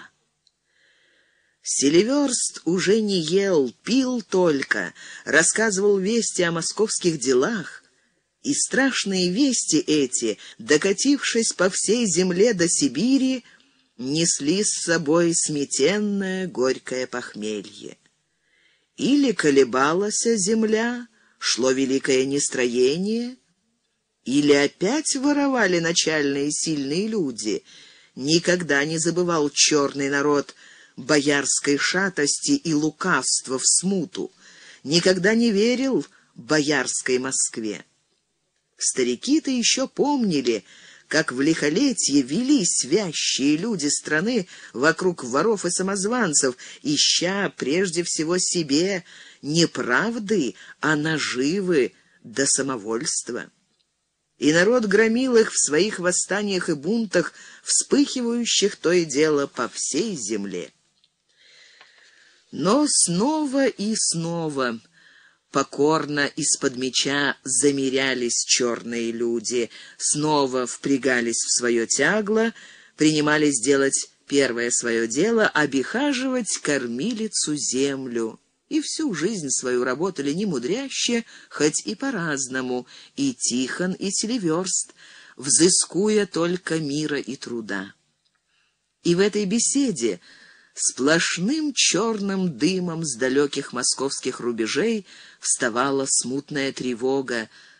Народ дал живому царю власть, а царь отдавал ее угрюмому монаху, хитрому и неистовому. Обилен, наряден стол в избе Тихона Басова, прочно все это довольство, а за окошками горницы — горит рыжий осенний закат. Высокие багряные облака, видны в них пылающие горы, темные провалы пещер. Вон одно облако, словно лев, поднялось медленно ввысь, обернулось верблюдом, встало великаном-богатырем, уплыло, сгинуло в бездонной пазухе. Все смешалось В зарном море алого, багряного, лилового света из туч встали зубчатые города, золотые башни их курились, из ворот мчались, словно рыжие кони войны. И вышел другой конь, рыжий, и сидящему на нем дано взять мир с земли, чтоб убивали люди друг друга. Слышит Тихон, ровно голос бабеньки Ульяны. Да еще стоит в ушах жалостный гнус с печи слепого старика тогда зимой на заезжем дворе, как в Кремле в стрелецком карауле видел он скачущего на коне по небу ляхом. Тихон Инда тряхнул волосами. Наваждение. Или, значит, бросай работу, подымайся на великую борьбу за правду, за народ, за свободный труд. А когда ж работать? А с кем бороться? Как бороться? Сильны оба они, Тихон да Селиверст. Да простецы они, ничего не знают. Кому их вести, что делать, как делать? Селиверст понурился, волосы опять закрыли ему лицо, говорил быстро и тихо. Что ж-то будет? От воевод да от бояр и так спасенья народу нету, а теперь и попы все боярами того гляди станут, править народ на провеже будут. Беда! Монахи в воеводы полезут. Да кто сказывал про то, кто? Говорю, монахи, я жил тама. Народу там много не сыщут. Рыбу монахам ловил. Хороши у них ловли-то, спаси бог. Ох, хороши. Селиверст, навалясь на стол, теперь гудел неудержимо. Монахам все ведомо. Книги святые патриарх указал нынче переписать. Книги... По тем книгам отцы наши, да святые люди, трудились, молились, да землю спасали, а ныне те книги не в книге. Да патриарх Чу иконы своей ручкой об чугунный пол бьет, жечь велит, мол, ведь страшно, что творит. Взбесился он, что ли? Запинаясь, выговорил Тихон. Греки, сказывает народ, патриарха учат. Чуднее, греков-то на Москву наехало видимо-невидимо. Их, вишь, землю всю поганые турки забрали, греки сами себя потеряли, ну и пустились нас учить, как нам спасаться. Куда деваться? Селиверст огляделся вокруг. Сказывай, Пухов, Сказывай, чужих нет. В московской избе дяди Кирилла и Васильевича, как они вот эдак самотайно сидели, дописали скопом челобитье, али и здесь, в Сибири самой, приходилось таиться. Селиверст высоко поднял правую руку с пальцами, сложенными в два перста, потряс ею — тем крестом все деды и прадеды наши крестились и молились, землю свою выстроили и оберегли, спасались сами и спасались от ворогов. Во! Два перста вытянуты, трое пригнуты. А ныне Никон указывает трое персты вытянуть, да в щепоть сложить, а двое пригнуть. Это где только спастися. По что ж-то? И кто где по-отцовски молится, тот проклят. Говорю, по что, а? Да эдак весь народ наш за труды его вековечные выходит проклят, так что ли? Спрашивал Селиверст. А? Тихон молчал. С Москвы были в Сибири вести о делах нового патриарха. Да отец ему о том в отписках писал, и приказчики, что в Сибирь съезжали, сказывали дивные дела. Патриарх, где теперь великий государь, сам управу по Москве крепко творит, попов, монахов, да и мирских на цепь сажает, батагами бить велит. «Мететься земля!» — шептал страстно Селиверст. «Ей мететься, а чего делать не знаем. Сумуем, плачем, бежим». И вдруг тут, словно молния, полыхнуло, распахнулось небо, осветило душу Селиверсту Пухову. Вспомнил он. Вспомнил женщина перед ним. Вот она, сарафан синий, рукава белые, слезы по лицу льются.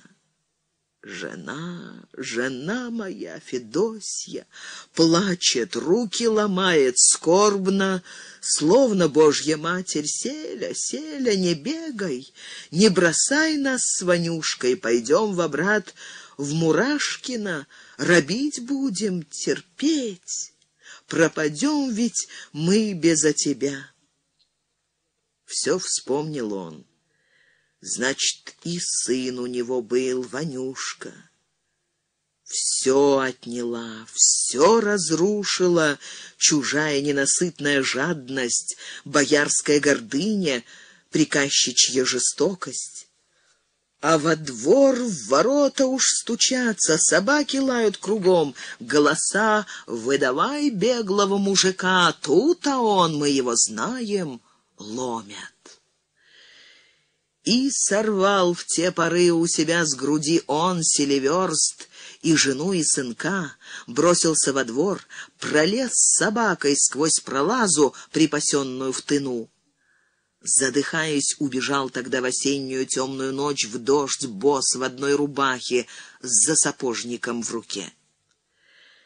Потом выследили его в бурлацкой вольной ватаге морозовские истцы, вызнали прислали Ерыжек с Мурашкина за ним, Сильверстом, чтобы схватить, уволочь, бить да поставить вновь на боярскую работу, от которой сбег он вместе с жонкой Федосией. А тут и жонку пометал, и сына. Опять побежал. Обежал он Селиверс, да преж того за два года до бурлачества сбудных станов, что день и ночь дымили в дубравах вокруг Мурашкина. Бежал из своей выйти, в которой на боярина работал. «Давай!» — только и слышали они от приказчика Богдана Аладьина. «Давай!» И платили они, мужики, ему, Богдану, для боярина Бориса Ивановича с каждой выйти деньгами — по пятнадцать рублей, да на стол давали по два пуда свиного мяса, по гусю, да по поросенку, да по ведру малины, да по четверику ядер ореховых, да с дыма по гривенке масла коровьего, по курице сушеной, да с выти по гривенке шерсти, да по хомуту, да по сту мотков льну, да на будное дело по корбу угольев, да по подводе с выйти к Москве, да золы на будное дело по двадцать шесть четей, да дров с выйти по четыре сажения, да давали они людей на все лето к будному делу возить из костров золу к горну. Да к Волге вывозить по пять бочек поташа на день навыть. Давай, только и слышен был голос Богдана Аладьина, и работали они без пристанки день и ночь. Гривенка здесь фунт. Как вспомнил все это, так и задохнулся от гнева, от обиды. Свободен он, мужик, свободным и помрет.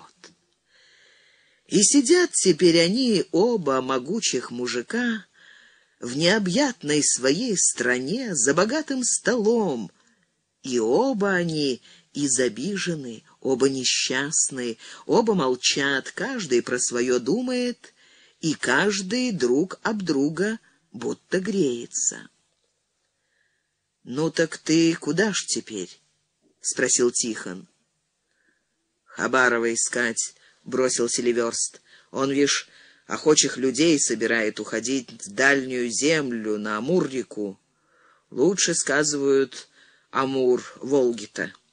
Ну, а другие в Литву бегут, на Волгу бегут.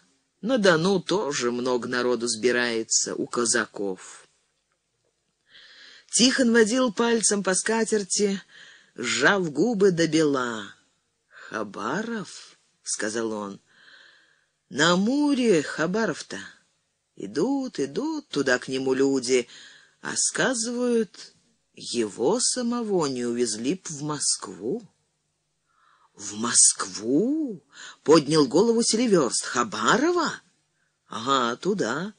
Больно, говорят, горяч. Острог себе построил на Амуре. Албазинский. Людей к себе собирает» и усмехнулся. «Не любит Москва, ежели кто сам людей собирает скопом». Хабаров верно вышел неуемной богатырской своей силой на Амур только уж после того, как отъехал во свояси в Москву, ограбивший его якутский воевода Головин. Продержал его Хабарова Головин год в якутской тюрьме за строптивость, а сам воевода тем временем послал своего письменного голову Пояркова проведать об Амуре доподлинно, чтобы самому ему, Головину, подвести бы Даурию под царскую высокую руку. Три года плавал по рекам и морю Поярков. На вылет прошел по Амуру до самого устья, вышел в Ламское море, по рекам Уде, до Помае, до по Алдану вышел в Лену, вернулся в Якутск. Шел прорывом без бережения своих, а особливо местных людей он не щадил, драл с них ясак нещадно — а те вставали, не замерялись. Повел он с собой сто двадцать семь человек служилых людей, привел сорок. Погибали люди от голоду, от бою, цинжали, вопили от бед. Поярков только кусал бороду, маленький, бледный, а упорный да злой. Не дороги-то у нас служилые люди, буркнул он как-то на упреки в жестокости. Десятник, пятак, служивый, два гроша, и все. Жестокой нуждой люди Пояркова дошли до людоедства. Доносил же он сам Поярков в Якутск с реки Зеи, с устья Умлякома. Люди копали мерзлую землю, жили травным кореньем и не хотя напрасной смертью помирать, съели много мертвых иноземцев и служилых людей, которые с голоду примерли, человек с пятьдесят. Страшные об этом слухи по всей Даурии далеко пробежали вперед, а Поярков зато принес с собой в Якутск вести о Серебряной горе, Стоит где-то гора в Амурской земле, и все де амурские люди носят серебро, кольца, серьги, обручи на шеях. И пошла гулять от того жадная молва по сибирским острогам, заимкам, церквам, торгам, кабакам. За Урал перехлестнула о молочных реках да кисельных берегах и о том еще. За теми де землями Недалеко китайская земля, что торгуют шелками да кумачами разными, а те товары возят на Москву кружным путем персидские да армянские люди, а русские ими не торгуют. Головина отозвала Москва. Съехал в Якутск другой воевода, Пушкин, Василий Никитич. В раз опять посыловал людей на Амур, да те люди не сдюжили двухнедельного волокола через Яблоновы горы, на Зею реку не вышли, пришли в обрат.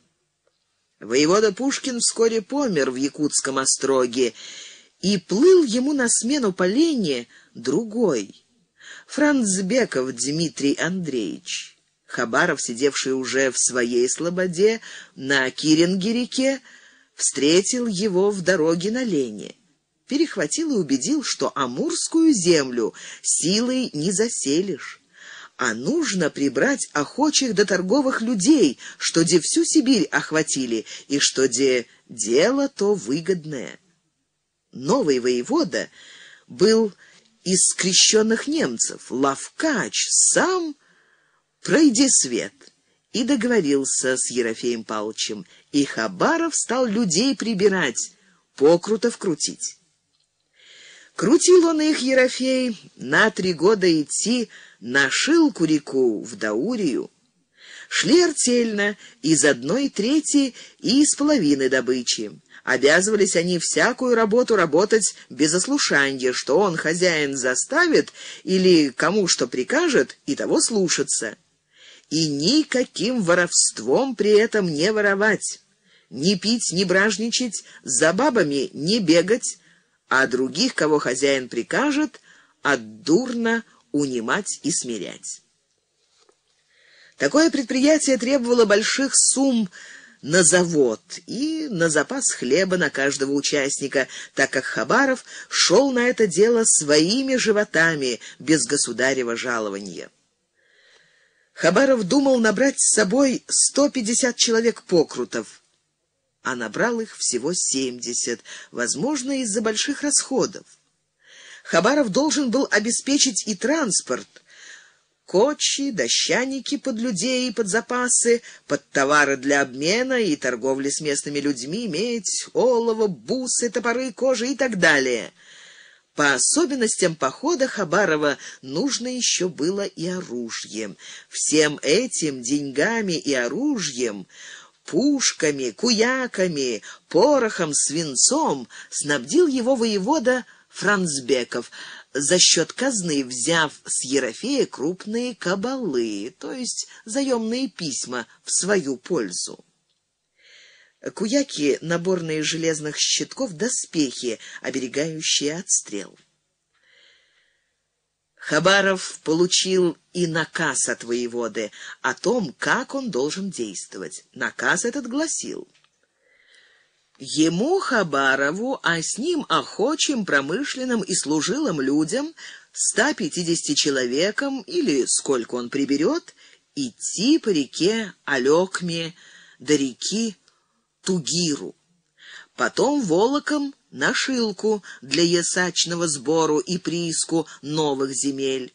Дорогу идти бережно, осторожно, на станах ставить караулы дошедшие по Алекме и Тугиру до Волока, поставить, где пригоже острожек, и укрепить его всякой крепостью накрепко, чтобы, будучи в том острожке для ясачного сбору, от немирных людей было бы бесстрашно, и ходить им из того острожку на немирных и на неясашных людей князя Лавкая и других, чтобы они, князцы, себя и сулусных людей своих давали ясак. Наказ якутского воеводы был написан старым московским обычаем. Шел же Хабаров со своими семью десятками наемных казаков обычаем вольным, поморским. Устюжский, посадский, торговый, промышленный человек Хабаров, стало быть, учинялся теперь наравне с другими вольными казаками, значился уже атаманом.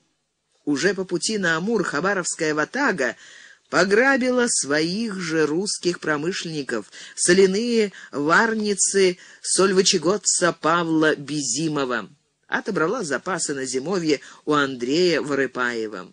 Возможно и то, что и снабжена хабаровская ватага была за скудостью средств хуже, чем положено было, и, действуя именем воеводы, хотела пополнить запасы в целях успеха предприятия. Весной 1650 года пришел Хабаров с Шилки реки в Амур, в землю князца Лавкая, подошел к его городку, а худая слава Пояркова — сделала уже свое злое дело. Городок был пуст. Весь народ даурский убежал, увез свое все хозяйство, угнал скот. словно вымерший, стоял большой городок, а городок-то крепкий. Хабаров двинулся дальше, вниз по Амуру, стал станом под третьим брошенным городком. Вскоре с караулу прибежал человек. «Едут пятеро, конные!» Всадники подъехали близко. Хабаровский толмач их спросил, что вы за люди? Ответили. Перед Хабаровым был сам князь Лавкай, седой старик в собольей шапке, два его брата, зять да слуга. «А вы что за люди?» — спросил Лавкай. «Мы люди промышленные, торговые, везем много товару и подарков», — было сказано в ответ. «Обманываете?» — крикнул Лавкай. «Мы вас, казаков, знаем», — сказывал уж один из наших. «Был у нас Иван Квашнин. Идет где вас к нам с полтыщи, и еще будут. Хотите вы нас всех бить и грабить, ребят да баб в полон брать?» А ясак мы и так платим богдойскому хану великому, и соболей у нас нету, и посмотрим мы, каковы люди» и всадники ускакали. Пять городов прошел Хабаров, и людей ни в одном не было. Убежали люди за Амур, как велел им великий хан Шам-Шахан. Хабаров повернул обратно в первый городок. Там разыскали его люди. В земле много зерна и припасов закопано. Оставил там людей и поехал в Якутск. Нужно было посоветоваться, что делать. Обстановка была очень серьезная. С выходом на Амур перед упорными землепроходцами развертывалась во всей своей силе великолепная хлебородная черноземная Амурская равнина. На Амур Хабаров выходил в самой северной и неприветной точке дуги Амурского верховья. И чем дальше на юг, все тучнее по берегам становился чернозем открытых ровных степей, все богаче колыхались жатвы, чередуясь с необозримыми цветущими лугами, шумными дубравами на холмах, где паслись тысячные табуны коней, многочисленный рогатый скот, а отары овец словно белые облака на зеленом небе. Большие леса темнели поодаль, полноводные реки были обильны рыбой, осенние и весенние путины давали невиданные уловы. Крепки в глинобитных стенах стояли городки с большими домами, в стенах были и деревни, окруженные огородами, бахчами, садами. Климат становился все мягче. Устья Зеи и Сунгари — лежали на широтах черноморских степей, южнее Киева, сущий рай для хлебороба, для черного человека. Самура отсюда можно было кормить хлебом всю Сибирь. После таких рассказов Хабарова в Якутском остроге воевода Францбеков донес об этом в Москву, что прежде всего в этом деле нужны ратные люди, тысяч с шесть. Отписки Хабарова сибирскими реками поплыли в Москву, а Хабаров на следующую весну вернулся на Амур, ведя с собой подмогу 117 прибранных охочих людей до 21 стрельца с тремя пушками от воеводы. Вместе с тем Хабаров увез с собой на Амур запас железных сельскохозяйственных орудий, сох, топоров, кос, серпов, взятых снова у воеводы в долг в Кабалу. Усилившись Хабаров со товарищами, заняли городок князя Албазы, Албазин, верхние точки Луки Амура, который стал сердцем скопов вольных охочих людей от всей Сибири. Отсюда удалось объясачить первых амурских князцов. Сам Хабаров в это время предпринял новые походы на кочах вниз и вверх по Амуру, с великими трудами, боями и, кроме того, с бунтами его охочих людей. В общем, он оценивал свое положение на Амуре совершенно трезво. На Усть-Зее да на усть-Сунгари сесть я не смел. Багдойский князь близко, а войско у него большое, с огненным боем. Донеся в Москву о необходимости подкрепить Хабарова, Францбеков со своей стороны предпринял шаги в сторону самого великого хана Китая. Воевода отлично понимал, что Хабаров вышел к самым неверстанным до того границам могучей древней страны. Вскоре из Якутска в Албазинский острог прибыл Тренко Чечерин — привел еще более сотни охочих людей до двадцать пять казаков. Привез с собой Хабарову по тридцать пудов пороху до свинца, до стопу бумаги для отписок воеводе. Сдав все, Чечерин двинулся дальше. Он шел посольством к Шамшахану. Вез с собой такую грамоту. Государь наш повелитель силен да страшен. Он велит тебе, Шам-Шахан, сказать милостивое жалованное слово, чтобы ты, Шам-Шахан, учинился под высокой его рукой со всем твоим родом и другими царями и князьцами. И ныне пишет тебе великий государь московский милостивые слова, а не для боя а не учинишься ты под его милостивой царской рукою, то велит себе великий государь смирить ратным боем и города твои взять. И, чтобы не прогневать великого государя, вели дань давать соболями, самоцветами, узорочьем и мехами всякими, что в вашем царстве есть, тебе по силе. И тебе не устоять боем против людей великого государя. Однако дипломатическое посольство Чечерина не дошло до Пекина. Оно было перебито в пути, погиб и сам посол. Москва же в это время дает приказ Верхотурскому да Тобольскому воеводам Измайлову и князю Хилкову прибирать у Архангельска плотников, сколь надобно, слать их в Сибирь и в течение двух лет строить сотни судов для сибирских рек. На Амур должно было плыть московское войско под воеводой князем Лобановым-Ростовским Александром Ивановичем. Тихон смотрел на Селиверста. «В Сибирь ты один, что ли, побежал, Селиверст?» — спросил Тихон. Не, миром шли. Из твоей ватаги, помнишь, хозяин, шел со мной Тихомир Березкин. И верно, Тихомир уж больно тих. Да не дошел до Енисея-то, медведь заломал. Медведь? Ага, медведь. Брели мы в та поры под Сургутским острожком. Да как же так? Много там медведев-то. Ну, насел. Убили мы медведь-то. Лесной боярин большой, а Березкин, глядим, не живой. Хороший был мужик, дай ему, Господи, царство небесное.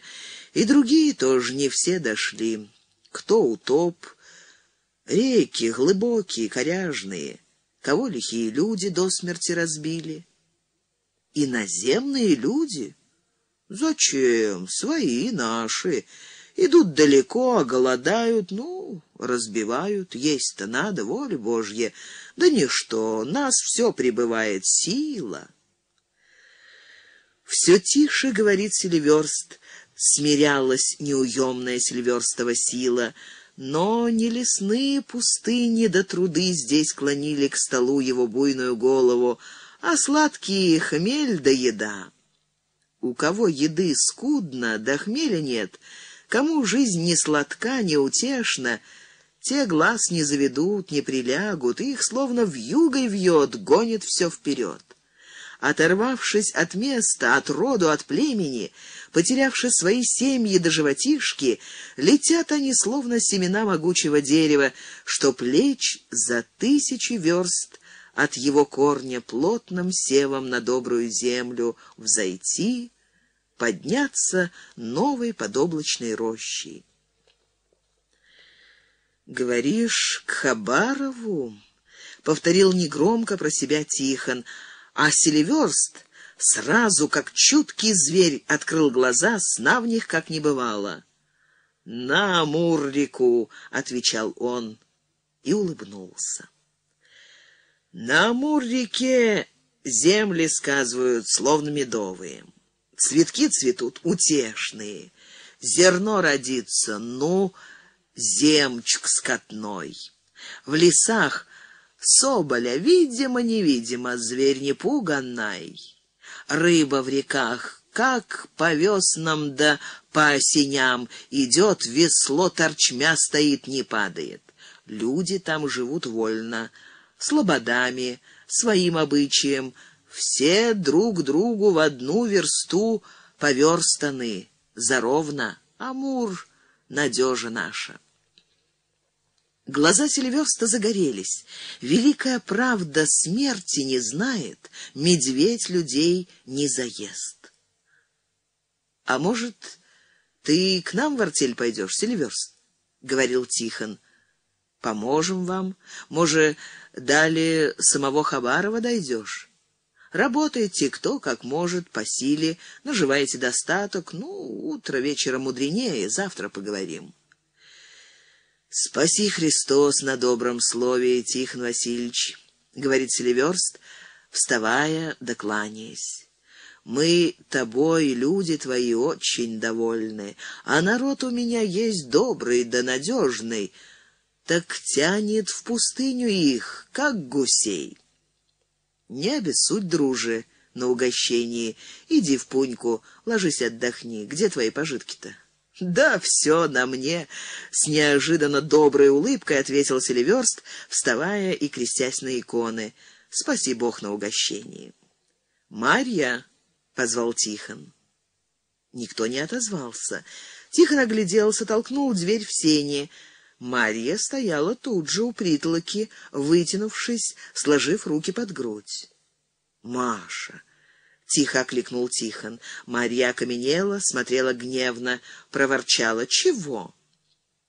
«Марьюшка», — говорит примирительно Тихон, — «ты того, дай-ка тулупчик поскладнее, что ли. Пусть товарищ отдохнет, завтра мы с ним сговоримся». «Вот а чего!» — шепотом зачистила Марья. «Я, чать, княжья дочь, всякому беглому постель готовь, девку зови». «Марья, эй, не дури!» — негромко прикрикнул Тихон. «Дура! Мы-то с ним сами ведь не князья. Делай, княжья ты, дочь, что муж велит». Лежа потом рядом со своей гневной Марьей, слыша ее сонное дыхание, долго не уснул Тихон. Тиха ночь, да в душе не тихо. Вставала, мстилась, что было, или что прошло, то быльем поросло. Нет, вот они, реки Двина до Сухана, батюшкина изба, его Тихона детство. Кружит, несет пестрая метель, из чего вспомнилось, как на Масляной катит он тише на салазках из-под стены города, по осыпи, вниз, на Сухану, а спереди и сзади другие мальцы в рыжих полушубочках. Или уж парнем он на кулачке бьется на первой неделе Великого Поста, кружит видение каруселью. В середке все темно, страшно. Нет-нет, сверкнут оттуда чьи-то скорбные очи. Лампада светит, спит рядом красавица. Ей что, думает Тихон, выросла, как соболишка в камнях да в кедровом сланике а кедровник с орешками рядом. Ей другого места не надо, не видит, ничего не думает. Живет боярыней, добреет, оленьи губы ест, почитай, каждый день. Да вот наш сбитень медовый полюбила. Красиво, а не мила, нет. Тянутся тучами бессонные думы. Что ж, чужой народ... Наша душа ей потемки, с кого и спрашивать, Сильверста, мужик где. Беглый, а вот Дорог этот мужик ему Тихону, бедностью своей дорог. Чистое сердце гонит его, как стрелу из лука, ищет он правды, ищет рая. Да не за гробом, а на земле, здесь. Да и он, Тихон, или не такой же самый, или душа Тихонова одебелила, или ему уж не уйти. Что ж его держит? Схватило сильно, словно змей. Богатство? Ей не.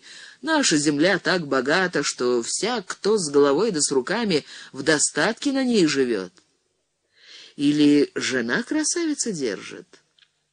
За мной-то она не пойдет. А тогда какая ж она жена, если за мужем не идет? Княжна она, не жена. И тошно стало Тихону вдруг от сильного женского тепла. А вот разве меня дело не пустит? Дело, вдруг понял Тихон. За стеклом оконницы в мутном свете поздней луны стоят его басовские амбары, склады, счетная изба, за ней людские избы. Не один он Тихон, вокруг него десятки, сотни людей ворошатся, как пчелы вокруг матки, тянут к нему сюда из-за Урала, с Байкала, плывут сюда, везут хлеб, соль, железо, помогают, чтобы народ сильнее жил.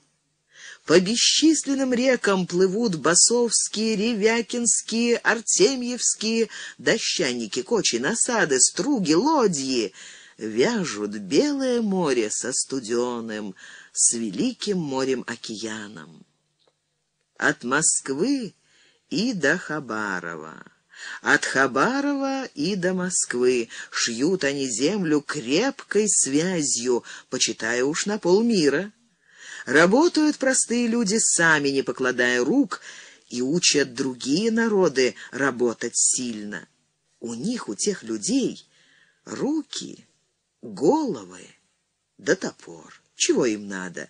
Только одного — свободной земли.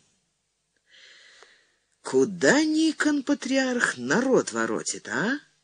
Зачем царь Алексей войну собирает? Или земли у нас мало? Эва, куда мы по земле ушли? Хватило бы своих рук, чтобы эту землю обладить да обиходить, и то славьте Господи. За правду народ встает всегда против неправды. Или он, Тихон, больше встать не может? Уйти бы и ему, Тихону, к Хабарову, Говорят, добился вот своего простой посадский человек Хабаров, живет мимо воевод. Сказку о нем по всей московской земле люди несут. И подошли, плывут на Тихона дремные видения, жужжат, запевают калики в престольные праздники сереть народа. Гой земля родная, земля матерая, Матерь нас еси роди, вспоила, вскормила, И угодьями наделила, земля нас породила, Злак на пользу взрастила, пользой бесов отгонять И в болезнях помогать. На земле сидеть ему Тихону надо, примарьем. Годы идут, Васенька, сынок, подрастет, а Селиверст пусть идет к Хабарову, и не один, как перст, а с людьми. Селиверст будет помогать Хабарову, а я ему помогу Селиверсту, пусть идет. Уже после вторых петухов уснул Тихон Босой, рядом со своей красавицей, спал тяжело, завалившись головой мимо подушки, большой, ладный, улыбался чему-то во сне. Крепко спал Селиверст в пуньке под тулупом. Проснулся, как солнце алым золотом зажгло все щели в плетях, сел на пахучем сене, пылинки пляшут в солнечных лучах. Вышел умылся из охладевшего оловянного рукомойника у избы, утерся подолом рубахи, помолился на собор. Сел на бревнах, сложных у ворот. Надо ждать. Утро ядреное, что яблочко крепенькое, в тенях кое-где на пожухлых кудрявых плетнях сверкает еще первый непрочный заморозок. Заблаговестили к ранней обедни. Двор оживал, закипал делом. Ворота дворник распахнул нараспашь, за воротами площадка небольшая, ее обступили башни высокие, рубленные, над избами дымки. На площади уже торг утренний. С площадки во двор люди бегут, и русские, и местные в расшитом шерстями меху да в замшах. Въезжают, выезжают подводы. «Эй!» — кричит средь двора курносый парень в красной рубахе, большие пальцы рук заложив важно за поясок. «Эй, к амбару заезжай! Иль впервой!» Под свежим ветром березка скосила зеленые косы свои с желтыми уже косоплетками, бросила их по ветру сквозь березку лиловый ветровой енисей, на нем белые гребешки. Пашенный человек — невозмутимо сидит на вазу, дергает вожжами, монгольская его лошаденка ерится, бьет задом, скачет на дыбки передом. Рослый тунгус со связкой мехов в руках принес сдавать, смеется, скаля белые зубы. «Чего его, коняка, однако?» — говорит он миролюбиво, идет в счетную избу. Все больше людей снует между избами да тащат тюки, мешки, бочки катят, подводы везут, товары со двора через площадь, в водяные ворота под башней, мимо стрельцов, что дремлют, опершись на бердыши под греющим солнцем. На реке грузятся ранней этой осенью дощаники, пойдут реками к Уралу, за камень, в Устюг, Архангельск, Вологду, в Москву, чтобы поспеть к самому Рождеству. 25 декабря. Во двор вывела толстая мамка гулять поутру Васеньку Басова, толстоногого в суконном кафтанчике, в шапочке с лисьей опушкой. Быстро проходит в счетную избу из горницы Тихон Васильевич, нагнулся к сынку, нахлобучил ласково ему шапочку, бежит дальше. Нет теперь в Тихоне и следа былых сомнений, от которых он мучился, почитай, всю ночь. Указывает, приказывает, словно ткет ковер, шьет овчинное одеяло, прикрыть сибирскую землю, и снова кричит «А кто кормщиком пойдет с дощаньками?» Крикнул кормщик — а кормщик-то ведь Селиверст. Ах, ты совсем про него забыл, про друга-то. Он к окну увидит, сидит Селиверст, смирно ждет. «Ребята!» — кричит Тихон. «Шумните мне мужика, вон у ворот на бревнах. Ишь ведь Марья-то не напомнит». Идет Селиверст между столами, большой, широкий, как бы чего не задеть. Прости ты меня, Сильверст, запамятовал за делом.